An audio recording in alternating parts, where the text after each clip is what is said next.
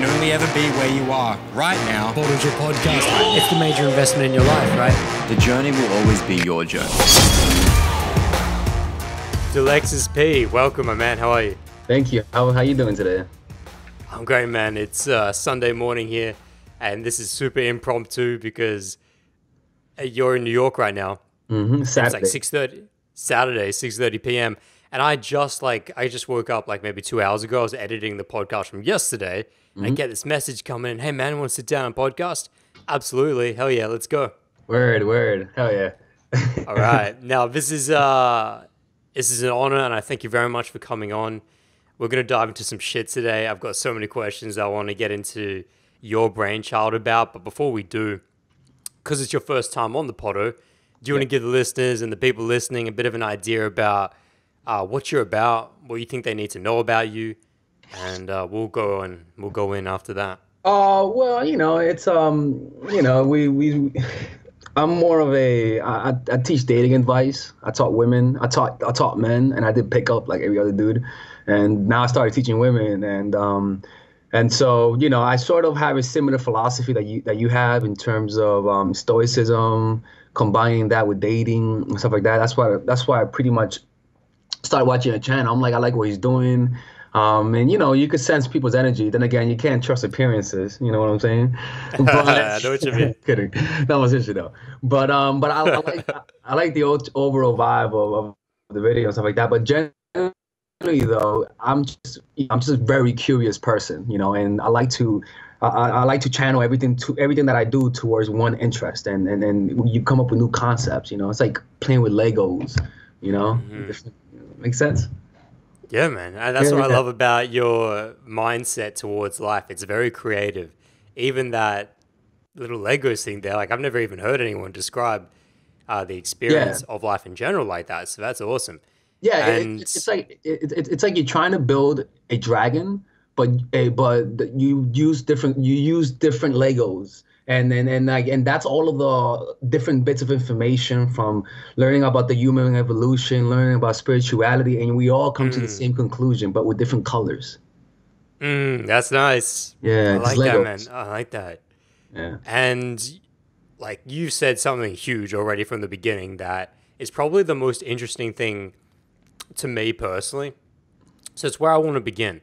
I want to begin with how you transitioned into primarily coaching women because as you can probably know, most of my audience are dudes that come to me because I'm teaching them at least very heavily in the beginning about how to handle their social and romantic side of their temple. And you know, at first I had like a one percent, if that, uh, female percentage of my audience, and they were really just girls that knew me from my photography. Yeah.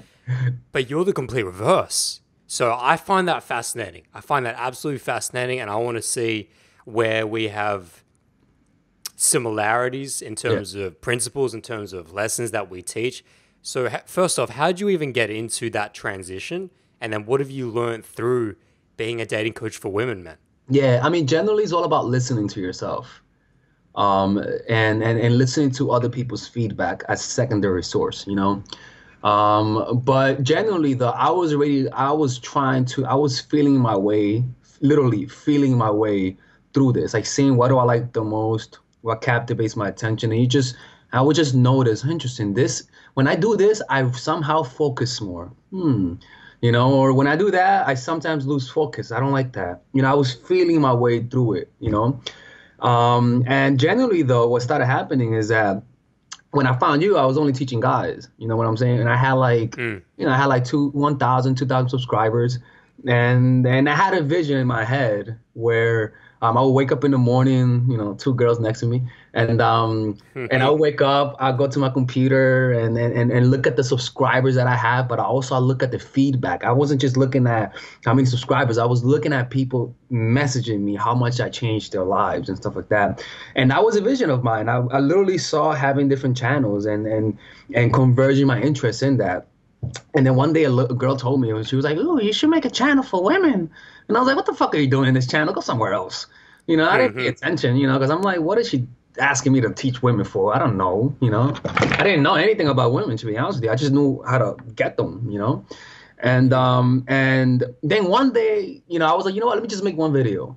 Fuck it, let me just make one video, you know, because for women, for the guys, I used to edit my videos like you do, not as good as you do, because you're fucking, you're pretty goddamn good at that. You know, I could tell you. Appreciate that, man. Thank yeah, you. you. fo- I, what I like about it is that you have a process and, and you take pride in each step. You know, that's that's that's the kind of focus that that that that you that that that signals that your whole being is into it. It's more of an expression of who you are, and that's amazing. Anyways, um, it wasn't for me, you know, and I was like, you know what, let me just make a video for gu- for women and see what happens. You know, I made one video. And, and and I was like, you know what? Let me just go to Matthew Hussey. Let me look at his most viewed videos, and let me give it a similar title, and let's see where it goes. And sixty thousand views in one week. You know, What was it? it's it was um well Matthew's video was five ways to know a guy likes you instantly, and I was like, let me just change it up. Five instant ways to find out if he likes you, you know. and, and I got the views, and So it got the views, and what was the response like? How did res- girls respond to that? Um, I was shocked. Um, it, it, you know, because it wasn't sixty thousand. I'm, I, I, I, I lied. I was thinking about when I first made a video about how to stop smoking weed, but this one was was it, I was getting like six hundred views in in like three days, and that was a lot because it was only one video, you know. So Yeah. I was like, holy shit, this this is like getting viewed and stuff like that. And and then I was like, you know, let me make one more video. And I was like, you know what, let me buy Robert Greene's book, The Art of Seduction, to see what the hell this dude's talking about. And I was like, well, you know what, let me just read what he talks about in Art of Seduction and teach it. And I was converging my theory of pickup with his his his, his theories of seduction. And, and and and it just comes together. It really comes together. And most pickup dudes wouldn't read that pickup dudes because it, it it's it's some random dude talking about seduction. Some you know like he doesn't mm. even practice. How- No man, when you read that book and then you start applying it as a woman, you see results. And I was like, you know what? Let me just teach women because you know they it's it's it's an untapped market because a lot of guys that are coached for women, they wanted to be they wanted to be coaches for women, so they read how to talk to guys, how to do this. You know, so they just read books on how to talk to guys. I come from the other route. I come how to Hold get up. the girl. Hold up, hmm? pause. I was saying you got a lot of beeping in your background. Oh, Tinder. a- My fault. Tinder. hey, go on silent, bro. Go on silent. I'm on my purpose, girl. Sorry about that. Um, hey, hey, continue. uh, yeah, so um, mhm, what were you saying?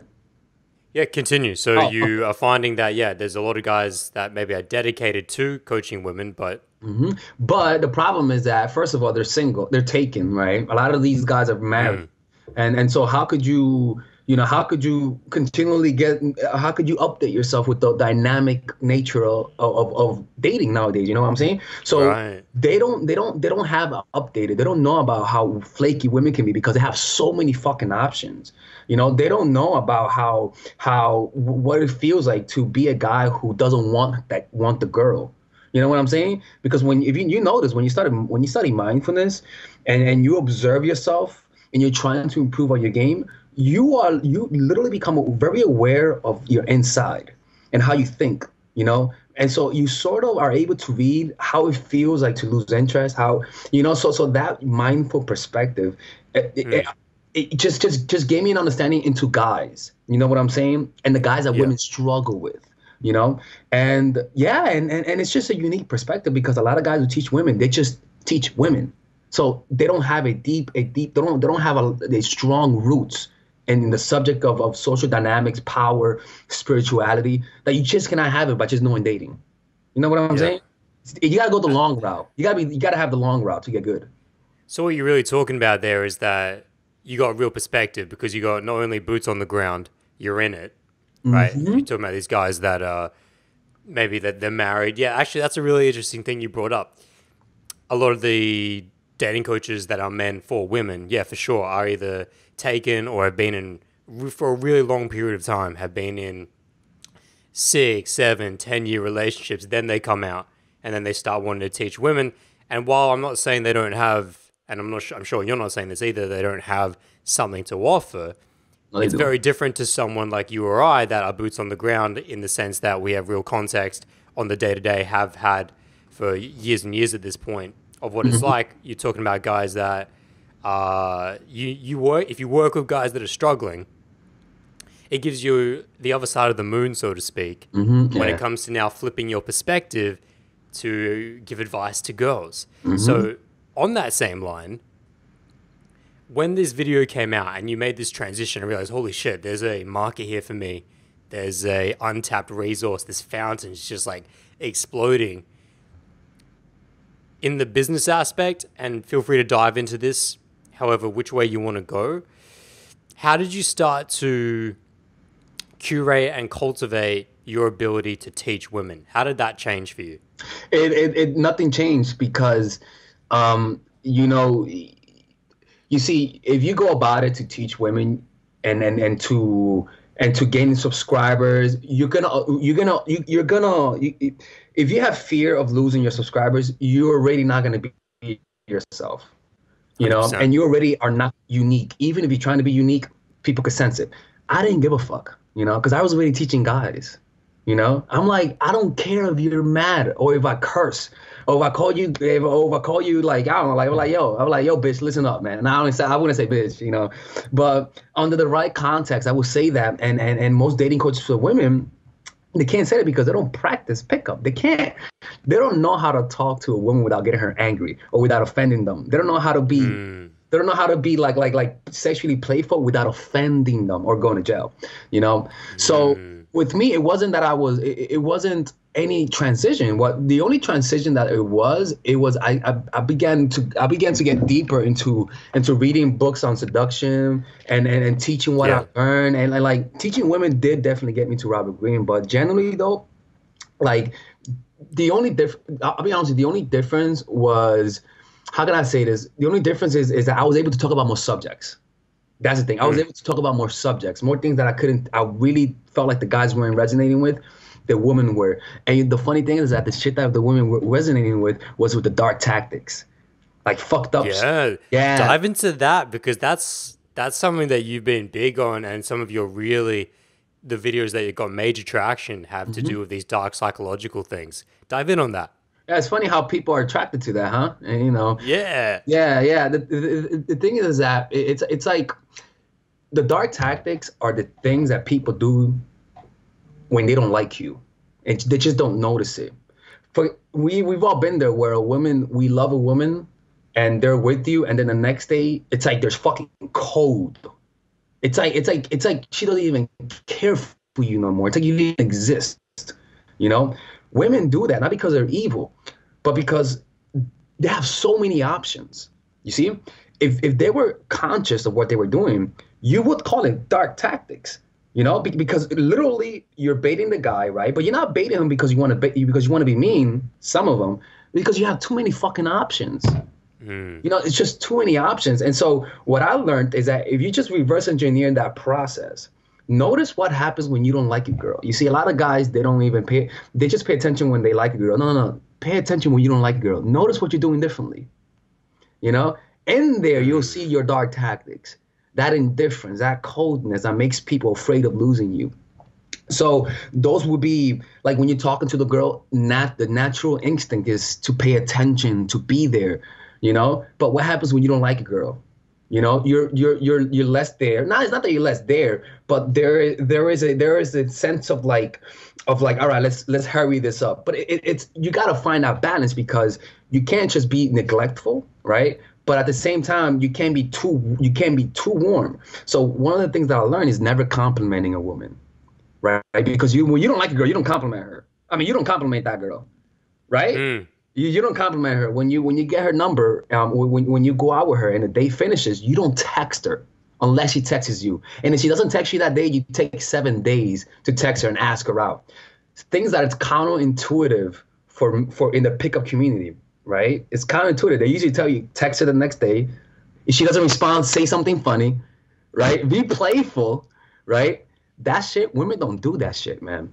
The hottest girls, they don't do none of that shit. They're they're they're fucking savages. They're cold, and that coldness is what attracts you. You know, and the reason why I say is because I talk to them, I coach them. You know, they don't. Girls don't call me because you know he's you know my guy's paying attention to me. You know, they don't pay me for that. They pay me because you know my guy, you know, he's ignoring me. He's flaky. He's not being acting like.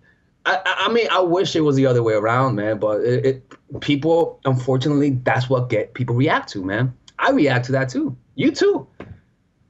maybe. That's interesting, man. yeah, It's yeah, interesting. Yeah, it's yeah, you said up, you though. said a lot of interesting things there, and so I'm interested to find out how has this affected your personal life. Then, you know, obviously, keep details wherever you want to keep details. No, yeah. You don't need to dive into anything. Like I say, you don't need to give me the color of her eyes. But how is this journey? Haha, the dad ad. How is this? Uh, how has this journey affected your personal life? And because hang on, I haven't even really asked the time frame on this. When was it that you made the switch, the transition to coaching women? Well, I still teach guys. You know. Oh yeah, yeah. Yeah, But yeah. when that Yeah. Um, when that was- angle came in. Yeah, yeah. It was. Um, let me see. You, I get confused with the years. It was the. It was like November of 2016. So not that long. No, no, no, no, no. It, it No, doesn't feel so that. is way. And how old are you? 28. 28 spring Yeah. chicken so yeah so you're s- yeah so you're going through it still so have you did you notice a major change in your personal life when this extra angle and this extra perspective of holy shit i've got this in completely different audience completely different angle coming at me how did your personal life get affected by that Eh, Oh, big time! Because it, it it showed me a reality that was eluding me. It was right in my face. I didn't see it. You see, sometimes it's not the fact that you're blind. Blindness is a lack of pers- perspective. That's what when people say you're blind is because you have zero perspective.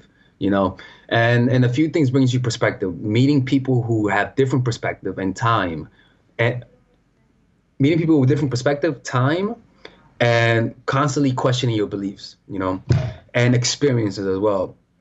But what was I saying? I'm sorry. oh so i was just asking about you know when you got this angle of the new female side of oh. your audience now did that mm-hmm. change your personal life in regards Yeah. to social romantic or even more deeper even more spiritually as well Yeah.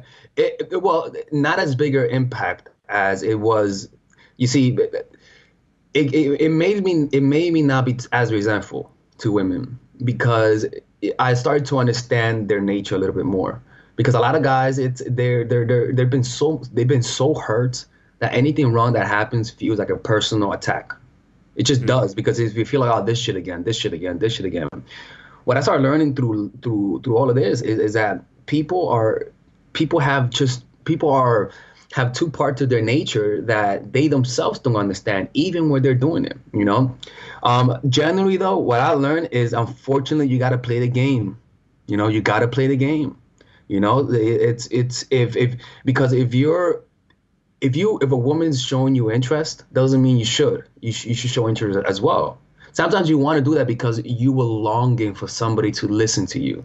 You're longing to surrender to somebody. Like when you're with your parents you could or be open to your parents. You could tell you could you could you could be like you could cuddle with your mom and then she won't judge you. So we want that in, in a woman. She they don't want that. They they want the father who's not there you know it's fucked up though man because that means that you gotta you gotta you gotta grow up from that fantasy of wanting security in somebody else. Mm. You know? You, you you and we all and that's what the desire for love is that warmth that we don't have ourselves. You know? So you were starting to find that personally as you started to meet more girls as this was coming along? Yeah, because it, it, it primar- primarily in the rejections, because there's there's a big a big you could you gotta how you react to rejection says a lot about you. We ignore it because it's so painful, or or or, or we're so focused on learning the tactics that we fail to to to look at our lack of our emptiness and and see the reason why. You can't focus on the rejection. You got to realize that the reason why you feel this pain pain in reality to me is creative energy that's not unleashed. You know? Creative energy that needs to be released and that you're just not paying attention. You can't distract yourself out of that pain. You got to release it through either acceptance or redirecting it towards an art or something you find purposeful. Women unfortunately you can't use you can't because we use women you can't use women to relieve of that stress because they're too goddamn inconsistent. They're, they're, they're too they're, they're, they're too random. You can't expect them to do that. And that's why you got a lot, a lot of hurt guys. And so learning all of this gave me that personal responsibility to not depend on them no more you know even, even even when they act interested you can't rely on that and it, and, it, and it's not that you're being that you're hurt or that you're being negative you're just being realistic it is what it is man Hmm. That's interesting, man. And you mentioned hurt guys there. is that something you come across a lot? What do you mean? And to what and to what degree? Oh, you mentioned hurt guys, mm-hmm.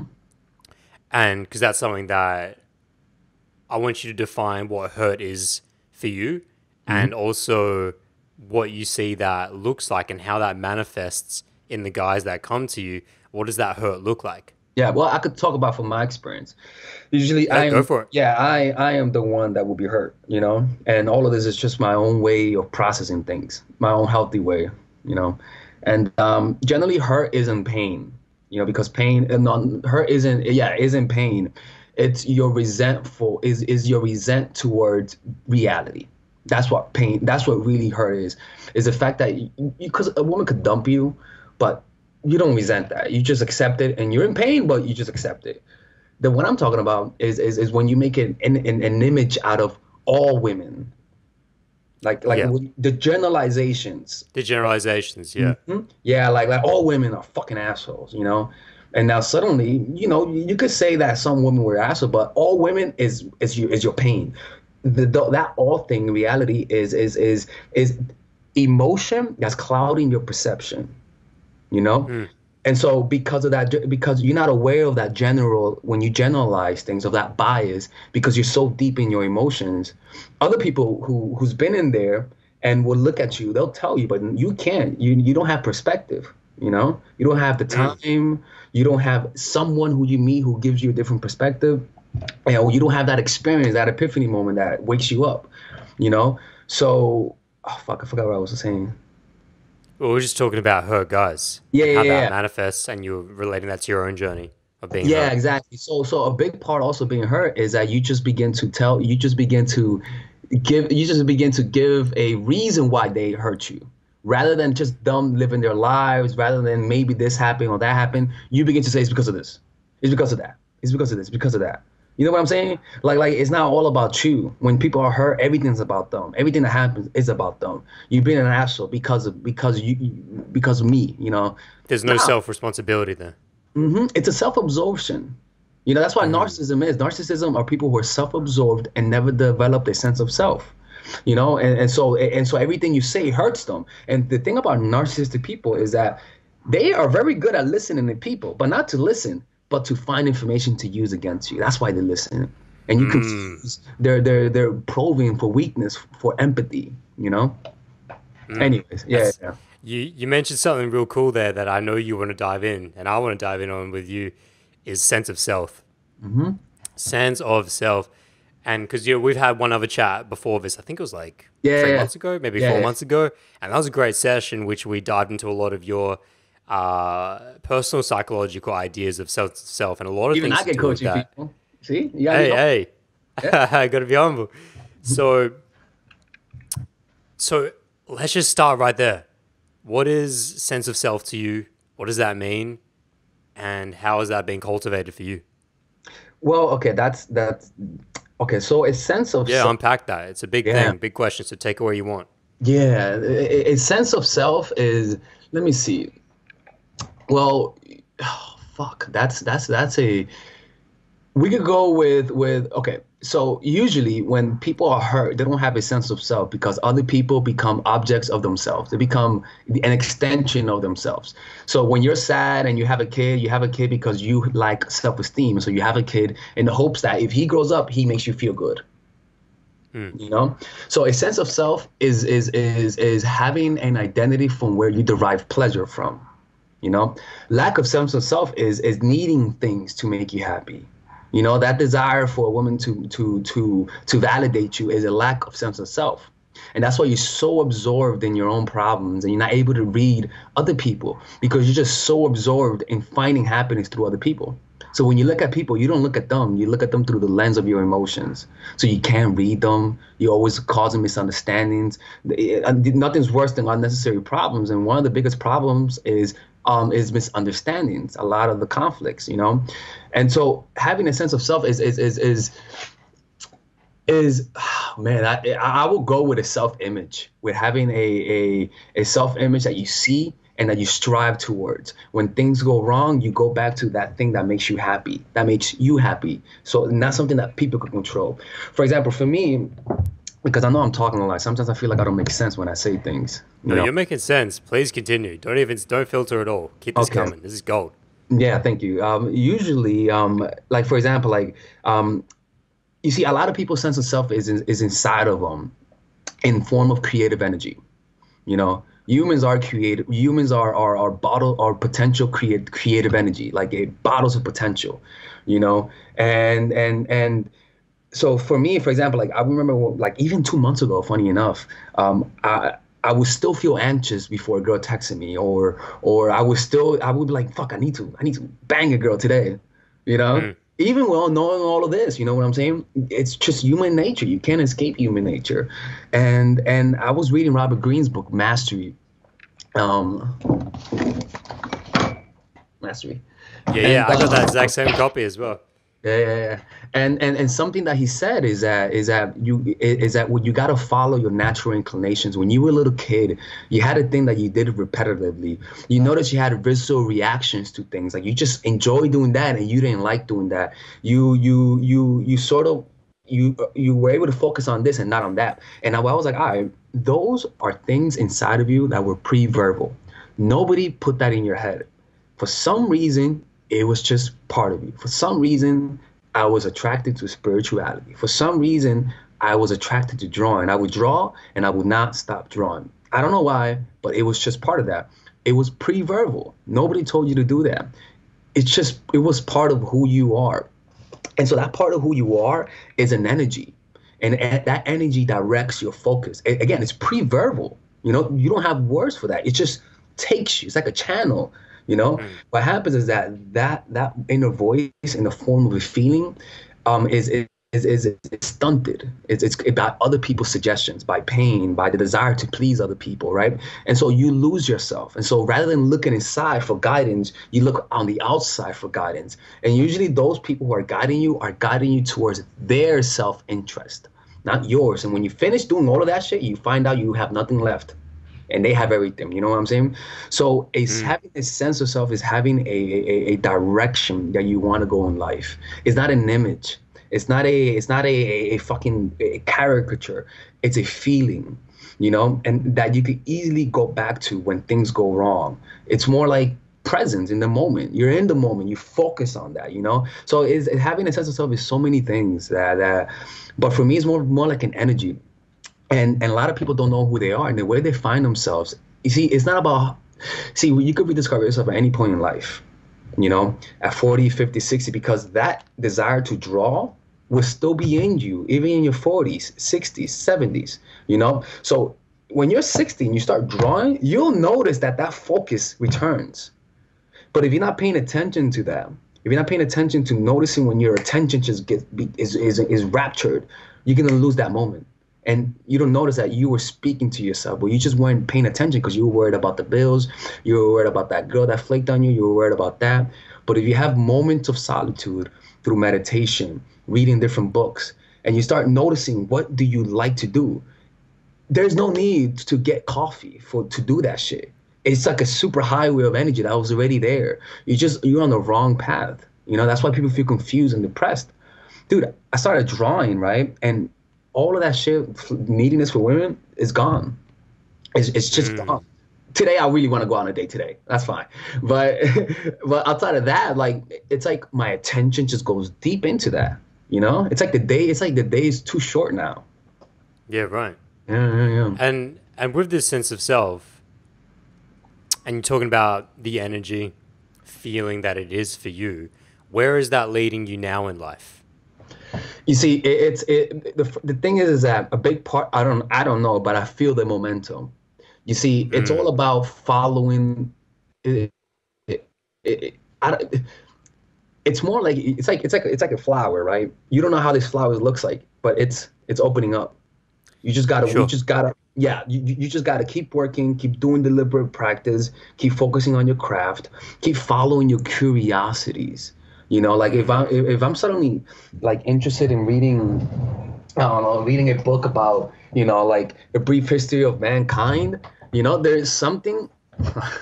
you gotta, here we go. there you go. Yeah, great, great, great minds think alike, right? One of the greatest books of all time. Shout It's out amazing, to Yuval right? Noah Harari. Yeah. Sapiens, hundred percent, and his uh, follow-up Homo Deus. Yeah, yeah, it- incredible. it's it's incredible, man. And and and and and you don't know why you want to read that, right? But the point is, just do it. You know, be, be- because you don't. There, it's like you're. There's like an inner guidance system that's building this person for you. You you can't see it, but you can feel it. How do you know it's going well? Because it excites you. Now, we're not saying not to do things that don't excite you because you there are necessary things you have to do, but you know that you know so you know what not and not to do you know what i'm saying and so following this it's like da vinci it's it's, it's my favorite he's my favorite guy in history Yeah, you mentioned him to me on the ground the other day, um, and I was just like an idea that popped in my mind that I wanted to get your thoughts on Mm-hmm. what influence he's had on you. because when i started reading you see I'm, I'm a big part of immersing myself in people immersing myself to gain their mentality using mirror neurons because when you immerse yourself in someone and you admire them your brain takes in more takes in the non-verbal takes in the subtlety the subtleties. It's all, all at a non-verbal level. And the reason why i started reading um, um, um, um, about leonardo is because robert greene said that mastery was based on leonardo da vinci you know? And i was like well, if something in me resonates with mastery then something in me will resonate with da vinci's biography. So then i, I got the audiobook because i couldn't read the book. I was i can't focus that well with that book. So i was It's like you know dense. it's very dense. Yeah yeah Yeah, it's, uh, yeah. it's very dense. So the, listening to the audiobooks for some reason makes it so much better. Hmm. Started listening to it and i went to amsterdam. I would listen to that book the whole time. And the thing about Da Vinci is that it, it wasn't a coincidence, you know. It, it, everything made sense. It- the reason why he was so great is because he deeply and he was very aware of his tendencies, of what he liked and what he didn't like, and he went at it with 100% intensity. You know, and, and and what I like about that is that he brought a lot of studies into one place. He brought science and art together, or bringing hmm. dating and spirituality together you know and then he started learning about hydraulics the study of water right? And and then and he had an obsession with curls with with hair curls. And he started noticing that hair curls is very similar to the waves in water right? And that's why he, hmm. that's why he started studying water because it reminded him of curls you know? And i'm like why would you want to learn about fucking water dude? But guess what? Studying hydraulics then led him to learning how to create different learning how to create war machinery. He started learning how water it's just like like curiosity. curiosities just follow those curiosities and everything came together the key is is, is though is to do it for the curiosity not for the outcome you know? Because all of those eh, all of those findings he wasn't he, his intention wasn't to find for anyone to find it. Like his studies of of, of anatomy he used to dissect people so that he could understand the proportions better, right? And he would draw the the, the, the human body when when it was dissected, the first of history of somebody who was able, who had, who was a skilled craftsman, who had a deep understanding of geometrical patterns, a deep understanding of painting, drawing, all of those years of 40 years experience, and then he would draw the human anatomy. Of course, it's going to lead to beautiful works to to understanding the body better. He even understood the heart that it was that that that, that the body almost circulated. The the the like there was a circulation not not not that the body created blood it circulated. And the way that he found that was because he loved analogies. Like he loved comparing the flow of water and how it affected the heart you know? So it's just, mm. so so he was it, it was like he would learn one subject and bring it to that subject. Learn one and bring it to that right? And it's like a tree. It create. It's like everything made sense. Like everything was connected, you know. So that's what I'm like. So now I'm like, I like I'm learning art right now, right? Because I love drawing. Where might this go? I don't know, right?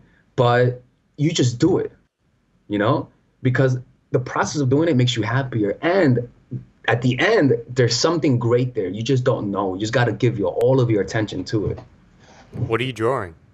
Uh, well, right now I'm drawing like um, I'm just I- I'm I'm taking it slow. I'm learning the fundamentals.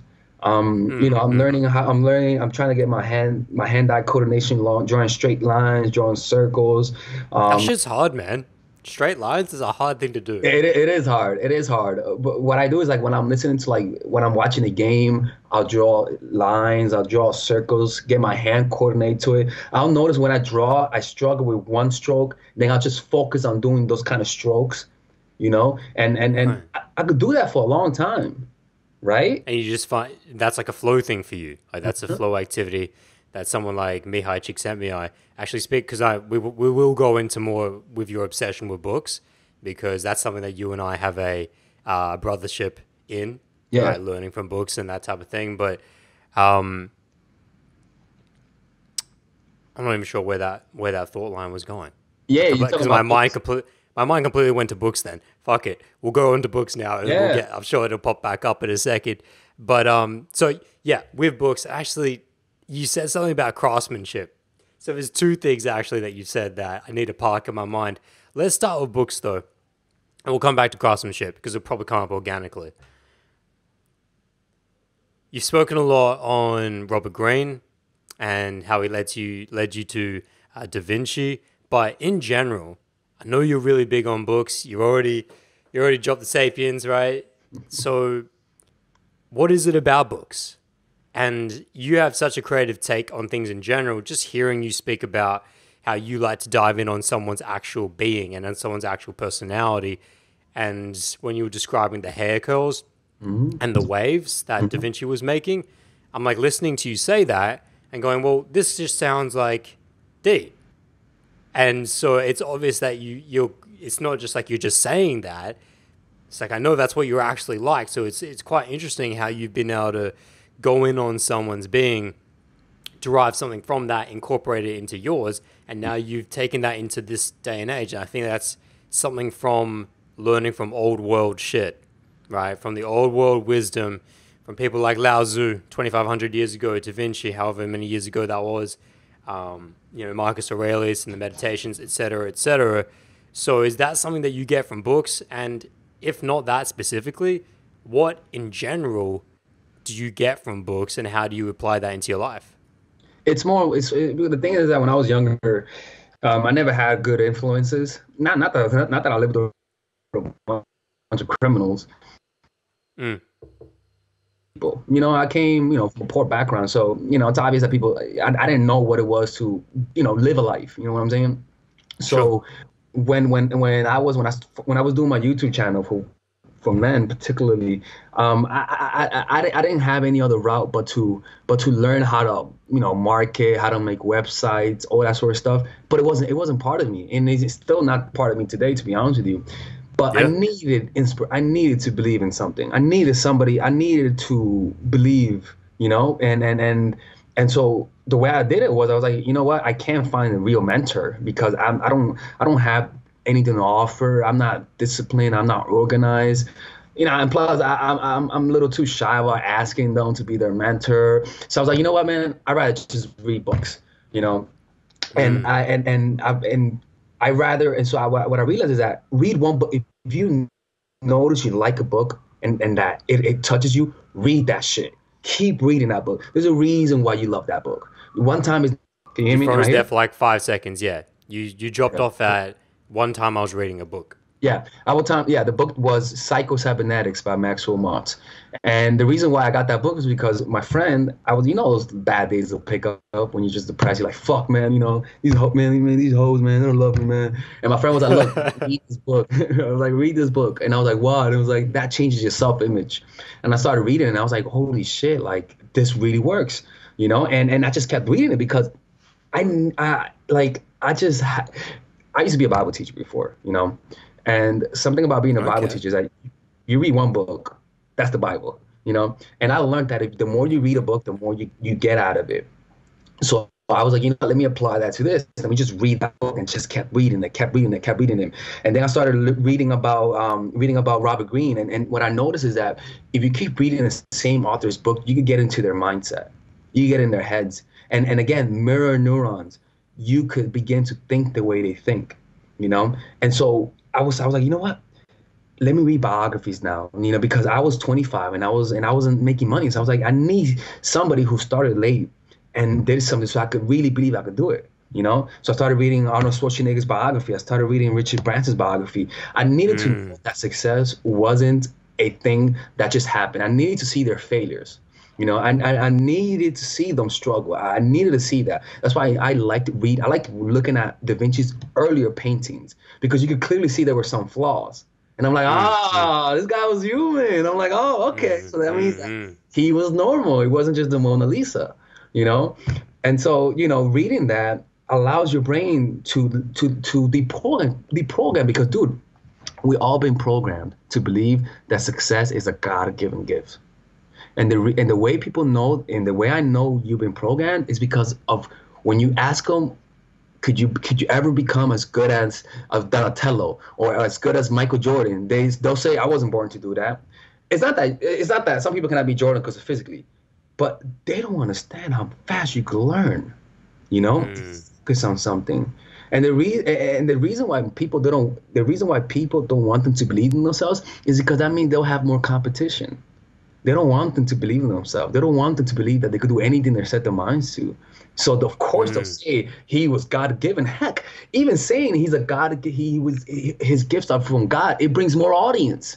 So of course, you know I'll admire you because of because I can't do it. So I'll vicariously live through you. I Sure. needed to break through that. So I was reading biographies all day, and yo, I'm telling you that shit worked because then I was like, you know what? If he could do it, I could do it. Simple as that. That is Yep. that. You know when you do when you watch pickup um, um infields, you know how a lot of guys get depressed when they watch infield videos. What I began doing is I began looking at I began doing watching those videos, but looking at it through their eyes. I'm like I like literally it's like virtual reality. I looked at myself being in the eyes of them. Why did I do that? Why didn't I not do that? And I started noticing that the guys that were good were walking slower. They took their time more. All of those things I was because I wasn't looking at it through their perspective. So when you do this and you get in their heads, you sort of are able to you download new habits, new ways of thinking, and you see that through the results. You know what I'm saying? Oh yeah, man. Yeah. And I love it. They, uh, you're just you're a mad scientist. You're an absolute mad scientist, and I love it. I love it because your energy is uh, you can't really stop it. I've kind of you know you mentioned analogies before. And you mentioned actually how Da Vinci's like to think in analogies, and I think you and I are very similar in that way, and that's why we uh, you know that's why we vibe Yeah, yeah. because we see the world in analogies. And I think through metaphor in general, we learn a lot better. So in my coaching style with people, in general, I often just try and draw it to analogies as much as possible. And with you, the way that I feel you coming at me right now is that you're like someone's just grabbed like a bottle of Coke and it's just like sh- just like shaking it as much as they could and just like just popping mm-hmm. bottles. I feel Yeah, like yeah. you're popping, but you're the living animation of popping bottles at the F1 Grand Prix and you've just won first place. And I mm-hmm. love that energy. I love that excitement. I want to bring this into the craftsmanship now because now this is actually where it dives in organically. Because this is something that I've been personally very, very interested in for quite a few years now. Is the idea of, and this is not to say because have you read Gary Keller's One Thing? Yeah. Hmm I've, I've, Yes. First chapter. so you know what that's about. So this is not me talking on that because there's obviously a time and a place to dedicate a extreme amount of energy into one thing. Obviously, there's there's a lot of benefits to that, but what I want to speak more on is this Renaissance type man mentality, this craftsmanship mentality where you're working on several different things. Maybe it's only two things, maybe it's three things, but there's a few, but they're very separate. They're very different angles. For you, spoken on the books here, right? And that's like if you want to look at that as wisdom acquisition and internalization as to especially the way you do it, especially through not just visualization, but an actual embodiment of what this person's feeling, what this person is going through. That's im- that's interesting. That's very interesting. And then you've got through the dating, you've learned a lot through that as well. That's a very separate angle. But then also as well to tag in your craftsmanship of spirituality. Yeah. All right, because this is a this is a this is a big journey for you. So dive in on that for me. What's that been like? What's that journey of crafting your own spirituality been like? Well, like I, I, ever since I was a little kid, I was afraid of going to hell. So, so I was like, I need, I need to know this dude Jesus, man. I need to get to know this dude. Um, and and and what the thing is that like a, a big part like something that robert says is that a way to know your calling is when you meet a master you react to them viscerally. You sort of have a deep admiration for them. It's something in you that's that's connecting with them you know? And and and you got to really look into that. A big part of me was when i was a little kid my cousin gregory he was a he was a he was a, an evangelist in dominican republic. And he was known to be like like you know, I, you know some guy i don't believe in god but it, it, some of the things that i that i've experienced it makes makes me sort of reconsider that and when i met him you could sense the aura in this dude you sense it you're like this dude is different you know and and and because of that he used to tell me he would pray for like six hours a day, read the Bible five hours a day. And I was like, you know what? I want to do that shit. You know, so I began doing that shit. I, I was read and study the Bible for three hours a day and deeply into it. And then, and, and, you know, as I, I, stopped going to church, but I, I was always into that spiritual spiritual part. You know, I started meditating and in order to get better grades because I couldn't focus. So I started meditating mm. with binaural beats because binaural beats help you focus more. So mm. I was like, all right, let me do it. But then I was like, let me do it by myself. And then boom, I started meditating because of that. And and so the thing is about spirituality is that it requires an open mind. That's the thing about spirituality. You gotta have an open mind because just looking at it looks a little crazy. You know what I'm saying? And and and and and a big part of studying also spirituality which is inevitable is the pain. Something's got to make you feel better when you get rejected by a woman you know? And and and and and that that's a huge part of it practicing mindfulness observing your breath and stuff like that. And it also helped me with with with addiction and and and like and with and with just almost everything. It just came together you know? It's you know, and, and, it's kind of funny that you mix the dark tactics with the spiritual side and stuff like that. But Contrast. that's yeah, but you know what? That's human because you know in the book *Sapiens*, and he talks about how he says when you look at humans and and, and the fact that they slaughter, they used to they used to kill the old people. You know, when, when they got too old, they used to hit them in the back of the head and kill them, or they used, or they, or they, um, or they completely did a genocide on all the Neanderthals.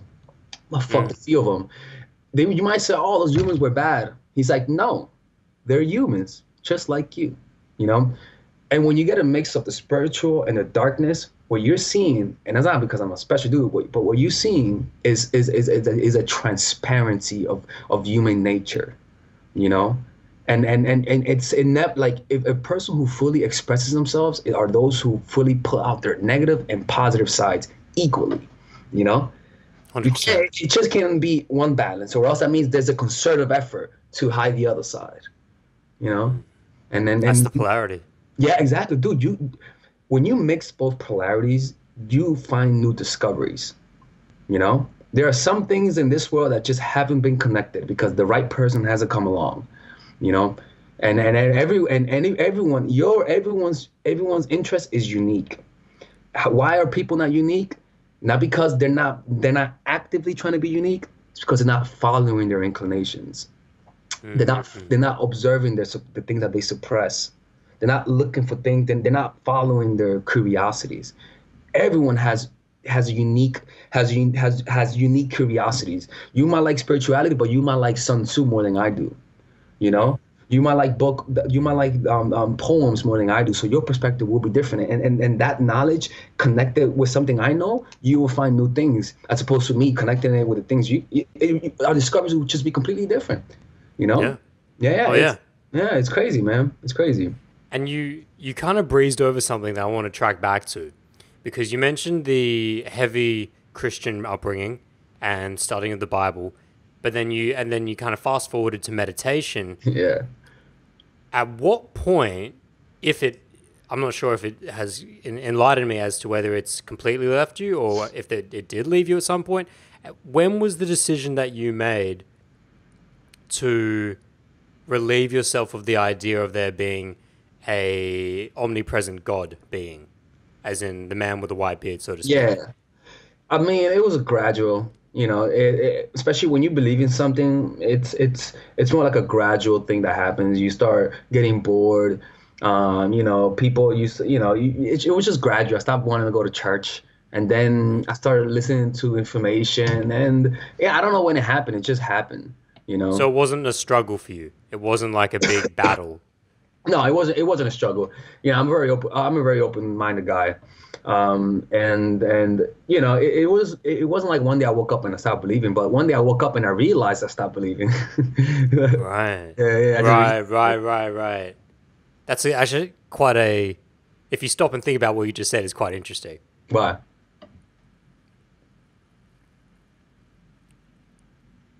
Even just me processing it right there, it's it's it's a it's a different shift in mentality. It's that, and I think this is kind of applies applies to all of life. You want to look at in many different areas. That a lot of the times things don't happen in epiphanies. They don't happen necessarily in satori like moments, like an awakening, in where it's like, holy shit! All of a sudden, I get it now. All of a sudden, this happened now. But one day, you might realize through the process of work, through the process of craftsmanship, each and every single day, sharpening your blade, and you wake up and you look back on the past year. This is what I found through cold showers. For I don't know the exact amount of days, but I, I could actually go back and track at least where I think it began because it was uh, on one boot camp I did earlier in the year in very much. I think it was it was either March or April. I think it was March. I can go back and check the video, but I know at that point I definitely started doing cold showers every single day, like every single morning without fail. What's that? Cochialis? What's that? Oh, cold showers, as in shower, but it's cold. Oh, cold. okay. Oh, oh, yeah, you talk about that. Yeah, yeah, yeah. Yeah, like freezing your balls off in the shower when it's uh. winter, that type of thing. So I know I'd been doing it a bit before that, but I can definitively say because I remember that boot camp morning that I was like, fuck, I don't want to do it on boot camp morning because I like to be relaxed. But like, no, you're fucking doing it. So I remember, I know from that day. So that was like like March or so. So ever since March, there's not been a single day in my life that I have not taken a cold shower. Now in Australia, like right now, you're looking down at me like it's sunny, it looks, it's getting hot. Yeah, but we still get winter, and for us, it might not be New York winter. Like our winter probably seems like shit, like piss shit to you guys because you guys have got snow going down the streets, which we don't have. But for us, it's cold, right? So getting up at 6 a.m. when it's dark, it's black, and you got to force yourself into that cold shower and you don't want to do that, but you force yourself to do it anyway, and you know you got to do this every single day. Otherwise, really, you consider yourself a piece of shit. Now, it's not like each and every single little cold shower, you have this awakening and this Satori like moment where it's like, I am in full control and mastery of my being.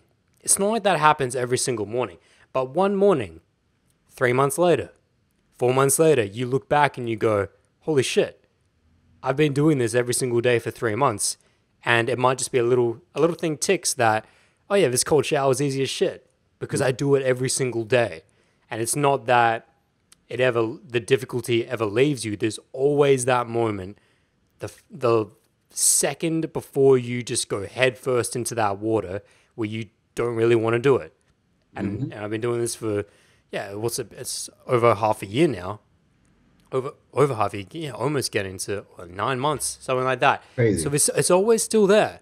It's always still a little bit there. And like I used to, I used to do cold showers on and off before this, but never every single day. So that's what it's been like. And what you were talking about there, where you were going when I asked you about, did the perception of a omnipresent omniscient, omniscient being in this idea of God, did that ever leave you?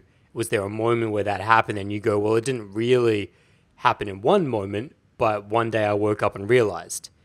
And you know what I mean? It's like, it's this process of work and this process, and because that for you came through a process of discovery, Mm-hmm. process of self exploration. Yeah. And It's it's the outcome is anticlimactic, you know. It's very anticlimactic when things happen. When you find out you made it, you, you it's not like you yay you celebrate. You just oh shit I made it. All right. I, I thought it was gonna be a party, but I guess not. You know, like it's so just why hap- were you so worried about the outcome? Yeah, People well, so well- worried about the outcome. Yeah, well, that happens when you work out. You know, you don't you don't notice yourself. You know, it's it's like it's never one big moment. You know, Mm. no, the the big moment is a picture. You know, when people see the before and after. But for you, it, it was never a big moment. It just it just happened. You know, like Da Vinci. Da Vinci didn't just happen. You know, it's it was all moment to moment, intense study, intense curiosity. Accumulate that in uh, in decades, and you create that. You know, it's it's it's an intensity of of of, of focus, and then that that just makes those kind of changes, and and that intensity doesn't lead to instant changes. Only superficial things happen instantly. You know, real things happen over time. You know, this, the universe happened across billions of years. You know, Hmm. dude, like the biggest. I- any anytime somebody tells me they want something fast, I know that they're not really in it. They're, they're not really in it. For It's sure. just how it is. When I go on YouTube and Google how to draw and it says how to instantly fix your artwork, I don't look at those videos. I just don't. Because I'm like, I don't I don't even want to consider trying to find something that's instant. I want something I want a 10 year plan. You know, I want a 10 year plan. That's that's you know, don't try to get laid tomorrow. Try to get laid in 10 years. You d- there's more weight, there's more this is the beauty is that when you have a 10 year plan, you see when you're trying to get laid tonight, every failure hurts. Oof. You know, when you're trying to when you're trying to build a life in, for ten years, you have more patience, you have more perspective, you take no easily. It's you you, you have so much move, move um, movability. It's it's crazy, you know. Ten, it's a Yeah. bigger plan. Big, it's but it will come. People don't believe that. Ten years will come. You just gotta have it. Oh, and it comes quick as you get older. You know, to Uh-uh. young dudes and young girls listening to this, they might think like a decade seems like a lifetime. But once you hit, I mean, you could speak to this even more than, than I could, but it's something I've found over the last couple of years. It's like, holy shit, time.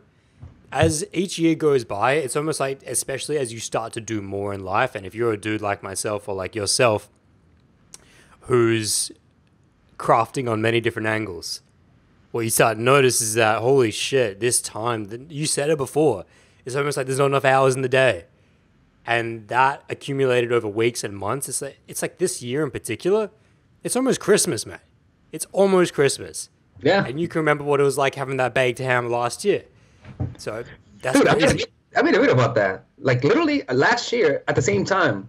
Like literally, like um last year I made a video about how time flies November second, and without knowing it, and that's a about that too, how time flies. That it was very weird. A, a subscriber found out that I did that. I don't, I'm like, you are creepy and observant, you know. And- and- Jesus.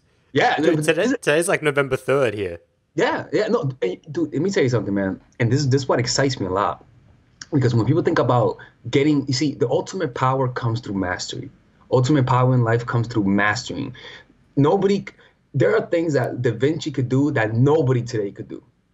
There are some craftsmen in Egyptian times that it doesn't matter how how outdated they are. Those skilled, there's something that they could do back then that we just cannot do Oh, the You know? pyramids, mate. pyramids like skills skills is something you cannot replicate you know so so with people you see the human brain loves making connections how do you make connections making connections is learning you know you you you you, you creating connections it's addicted to that it's addicted to creating good and bad connections bad connections happen when you allow it to atrophy good connections happen when you put will and intention to it the thing is, is that the biggest obstacle is time. I'm too old. I'm too young. It'll take too long. 10 years, 10,000 hours?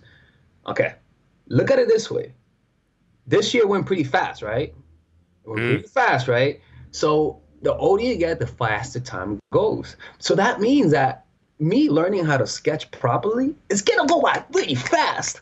I mean, I'm I'm gonna be I'm, it's gonna feel like four years or five years or ten years right? And, and so it's kind of like that should motivate you. Not like, oh, I'm gonna get old fast. Nah, bitch, you're gonna get old fast. You're gonna learn fast. Like it's gonna it's gonna feel like you're learning faster because the flow of time is gonna speed up. You know, and and that's the positive thing about the flow of time is that it's a positive thing when you're looking at it from this perspective. Dude, think about that. Like 10 years goes fast, fast. You could master something in 10 years, right? And then the next 10 years is gonna be faster. So now you could master something else. That's what Da Vinci did. Da Vinci would put down his stroke, his brush stroke, because he was tired of painting.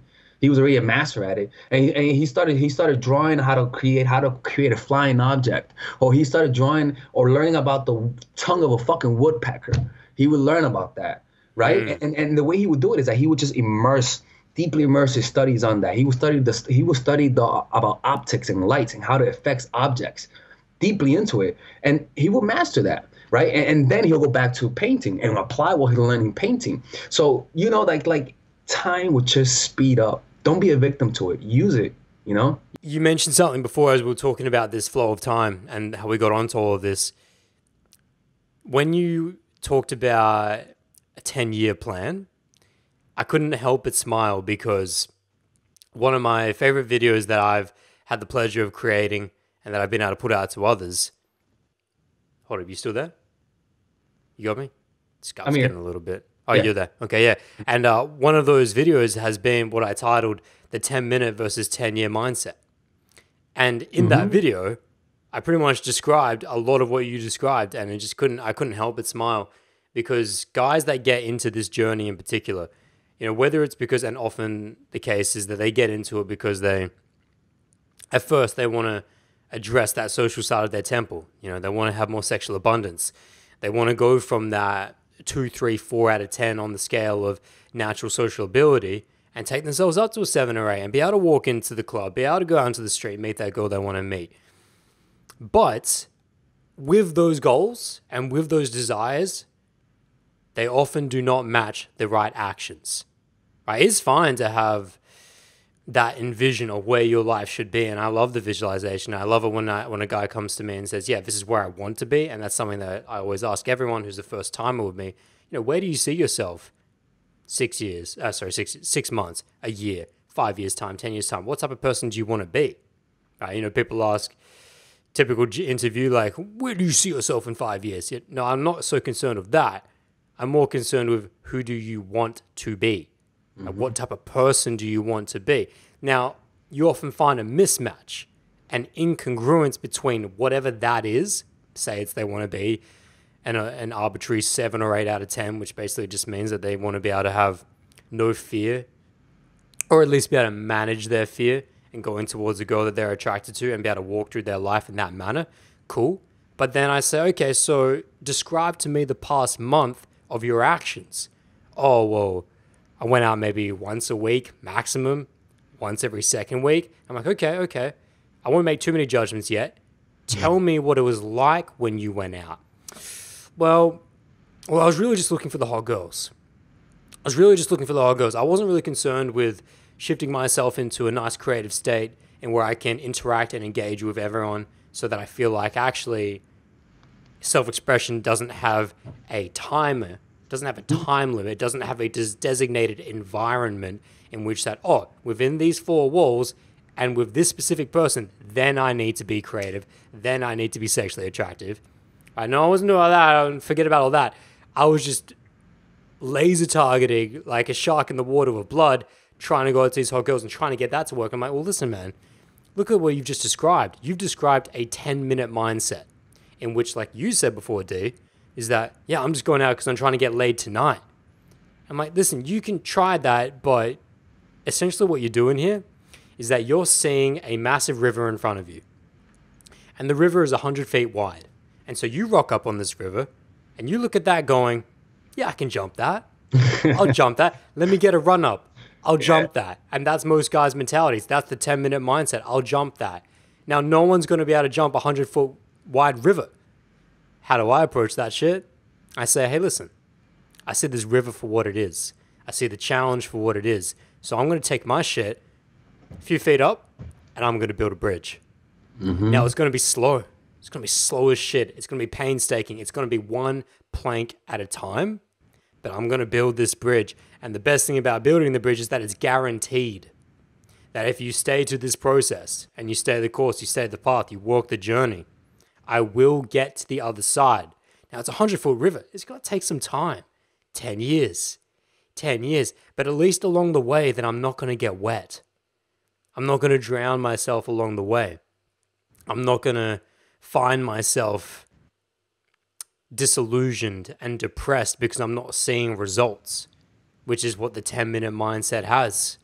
Right? It forces you into that place of self disillusion because, yeah, if you attach And yourself to that immediate get, anxiety, anxiety, you attach yourself to that short term get, of course, your actions, and this is where the alignment between action and mindset has to come in. Mm-hmm. You can, it's I would rather you have an alignment with a negative action set and a negative mindset because at least it's aligned. At least there's no confusion. What do you mean And what I mean, yeah. So let me explain that. Yeah. At least there's no confusion or delusion there. So what I mean is that take that analogy with the river. So you got this guy who goes, who can still see it's a hundred foot river, and the hundred foot river is yeah. Let's take it. Let's bring it down to real terms. Let's just say that's a guy who's super socially inept. You know, he's like a two or three on the scale of ten. Ten being absolutely natural, zero being a hard case. He's two or three, right? And he goes, all right, well, I need to become an attractive male. Now that's a that's a that's a hundred foot river for him to jump. Now, what I would prefer for that guy to go through, if he is going to take the 10 minute mindset, is just acknowledge that he's taking a 10 minute mindset. When he comes to you or I and describes his night and says, or the last month, and says, Yeah, I was going out just trying to get laid every night, only approaching hot girls and getting destroyed every single night because of that, or whatever night that he went out, destroyed because of that. Went home in my journal, cried, right? Complained to all of my friends, just got beat down on life because of that. And I acknowledge it was because I was taking this short term, extremely external, egoic based results mindset mm-hmm. because there's no delusion there. If he can acknowledge that my actions were aligned with this type of mindset, then there's no issue because, and when I say no issue, there's no issue in the sense that, oh, at least he knows where he's at. Mm-hmm. At least he's aware of himself, self knowledge. He knows himself. I can work with that person. You can work with that person. But it's the disillusion. It's when someone says, no, no, I'm operating on the 10 year mindset.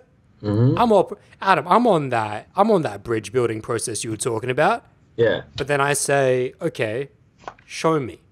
Show me the actions. Oh, but he still says I was going out with that extremely external, egoic based action set of, okay, targeted interactions with only the most attractive girls, which of course will shut him down because he has not learned how to be free from that and be mm-hmm. free from the anxiety that comes from that.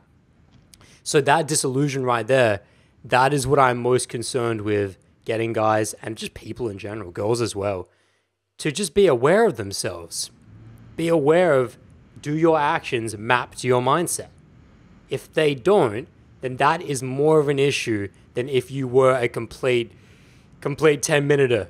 At least the 10 minuter who's got 10 minute actions, at least his mind is if his mind is on the 10 minute mindset, we can fix that. We can change that and we can make him realize, okay, if, let's switch to 10 year, but your actions are going to have to switch to 10 year as well. He goes, yeah, that makes sense because I wasn't confused about that. Mm-hmm. It's the guys that come to me that are confused and they go, no, you know, they're like, really out of, really, I need to go ahead and start at 8 p.m. and I need to speak to every single person I meet on the street on the way to the club. And then when I get into the club, I need to speak to the barman. I need to speak to the, the girl who's stamping me, who's as I'm going in, the code check. I need to speak to that random dude who's standing there with his little beer, right? Mm-hmm. And maybe he's got a couple friends who are scared as shit as well. I need to address him. I'm like, yes, but you don't need to address him because you need to be best friends with him. You need to address him because you need to map your actions to the mindset that's going to lead us to your eventualized action of desire. And your desire is that you want to be a person who can be attractive in all environments, not just, okay, now it's game time. Game time is life to me. You know what I mean? Yeah, yeah. It's it's it's it's it's you see that's a problem is is just people don't have enough patience. And lack of patience is just lack of perspective. You know, Eh, eh, they're not they're they, they're not they don't they're not they don't have a they don't have a foot in reality. They're just guided by by the desire to get or the, by the desire to fill their needs as opposed to express themselves, you know. And 10 year plan requires an expression.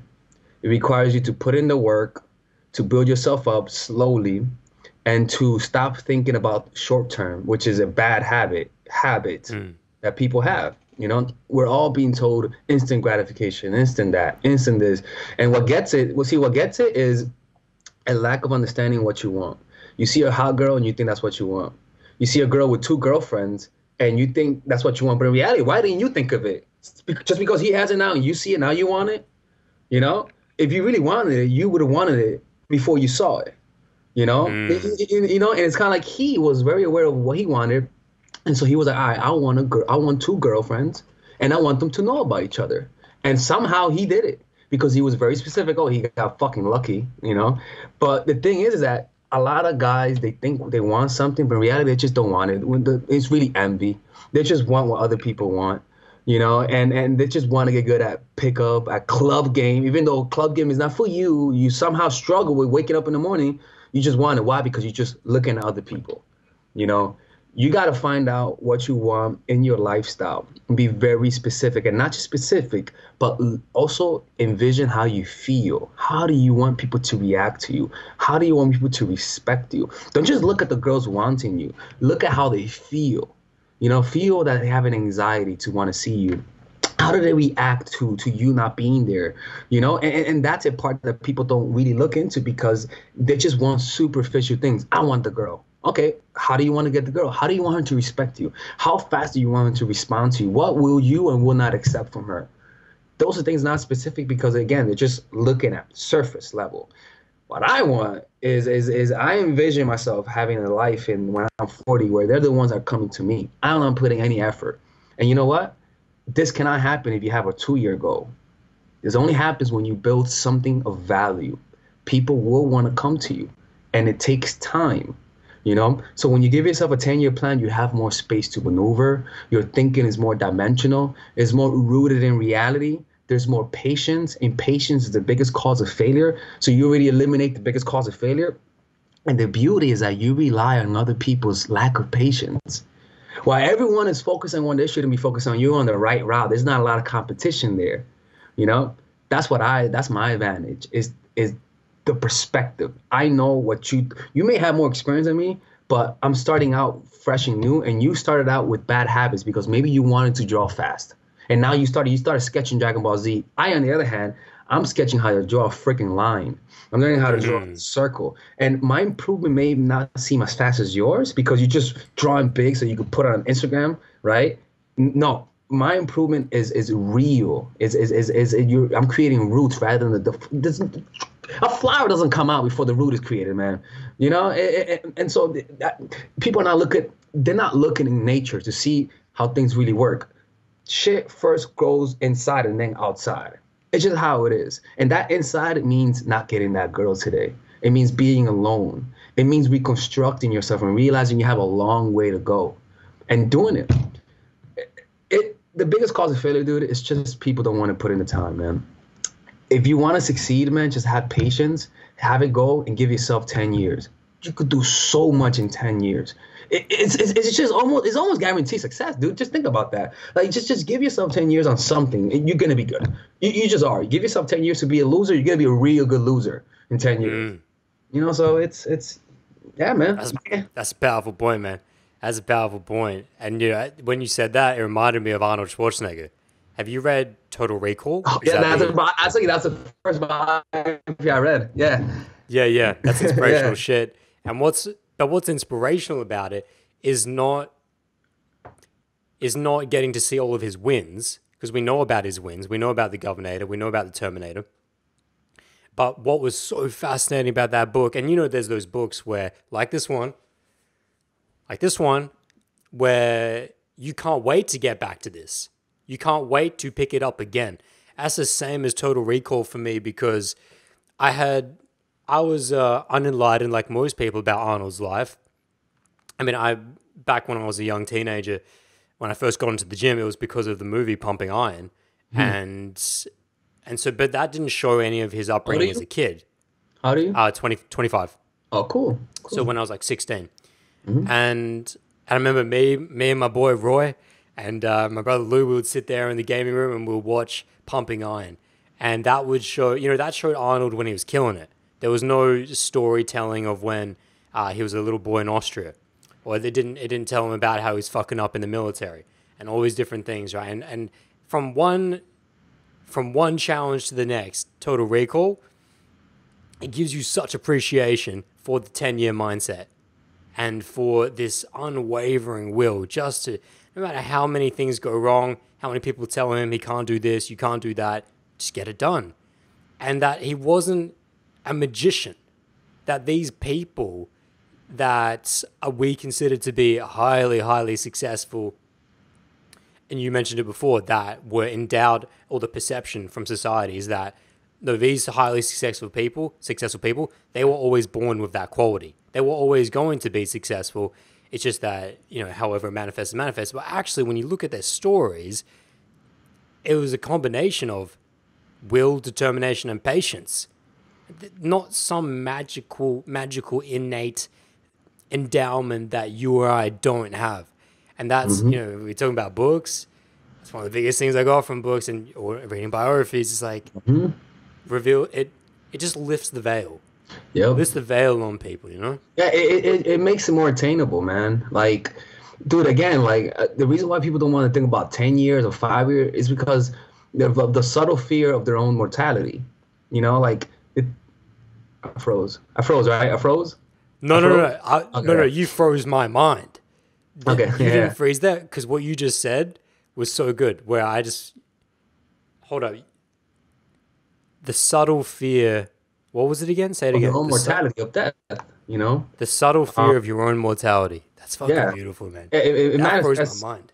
Yeah, dude, it, it manifests himself in different ways. Like it manifests himself in Halloween, where you make a joke out of it because you don't want to see the reality. You know, everyone makes a joke out of death, but they don't. They they they they're not really close to death. It's it's all being veiled. It's it's you put in makeup on. Let me charge my laptop. One second, okay? Uh, D's just grabbing his charger, but I just want to, for you guys now, I don't want to cut this point because I just, what happened there was that because of Skype, sometimes if we notice the person's head doesn't move for a second, it's almost looking like it's frozen. But when he said the subtle fear of mortality, I froze myself because that was, uh, that was something powerful. I've never heard it phrased that way because Well, it's very true. You, I'm here. Yo, You're good? Oh, he's back. He's back. Yeah.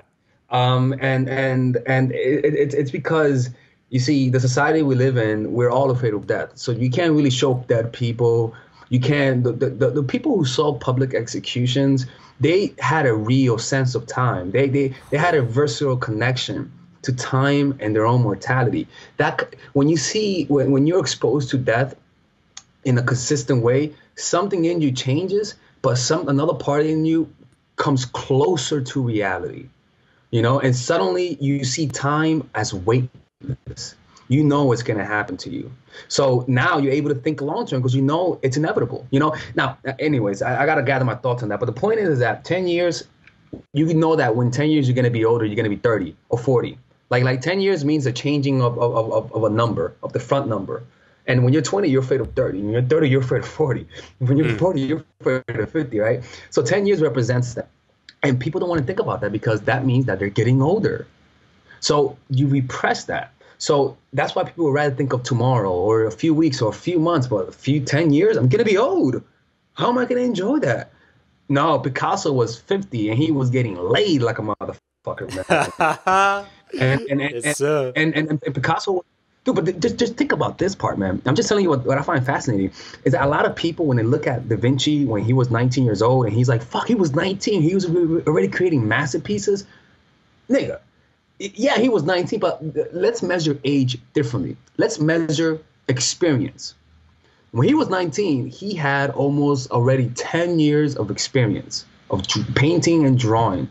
Of course, he's gonna do that. It's not like he's just a 19 year old. So he, when he was 30 and he started, and he started when he- when he started working on um, on becoming an engineer, he had 20 plus years of painting, of drawing, and observing nature. Of course, Long he's fucking time. Yeah. a long fucking time, you know. So you could do, and then he was 30, and then 40, and he just started stacking, and it carries momentum. That's the thing is that it has momentum. Where it's like this, oh, you're learning, and then something, it's just how it is. And when you look at the end result, it looks impossible. But when you live that life and you experience every second, it's not impossible for you you believe it. And then when you actually read the biography, it's like it's like walls are coming down in your head. You're like, holy shit, this makes sense. Will I have done that? Will I have done that? That's a big part when I was reading Arnold Schwarzenegger's biography. I kept asking myself, what would I have done right there? What would I have done that right there? Fuck, I mean, I'm in, I'm in the military right now. What, what would I have done? Will I have kept working out, or will I just accept that? You know, like I, I just asked myself, and I'm like, where would I have gone if I was him? You know, and it's just Great questions. dude it's like it, you're not successful because of you you know it's all about you and we can't accept that because it's not me because it's because he's gifted. That's why it's not me. He's gifted. No, it's you. No. It's you, man. It's you. It's it's just everyone was a baby. Eh, eh, Da Vinci at one point there was a one there was one point when I was better than Da Vinci at a drawing. Uh, there was one point. Right now I'm starting to draw, but there was one point. Maybe he was second day of drawing or third day. Yeah. There was a one point when I was better than him at drawing, and I Oh was. and I- yes. so it's kind of like, all right, let's just uh, let me just think about it as that perspective. When he was nine, he started drawing. Let me just think I'm nine right now, right? And and and, and dude, it's like it's limitless the potential that you have when you think about it that way. It's such a great mindset. It's such a great mindset. And even when you were saying like, what decision would I have made Yeah. if I was in Arnold's position right there? That's something that I do as well.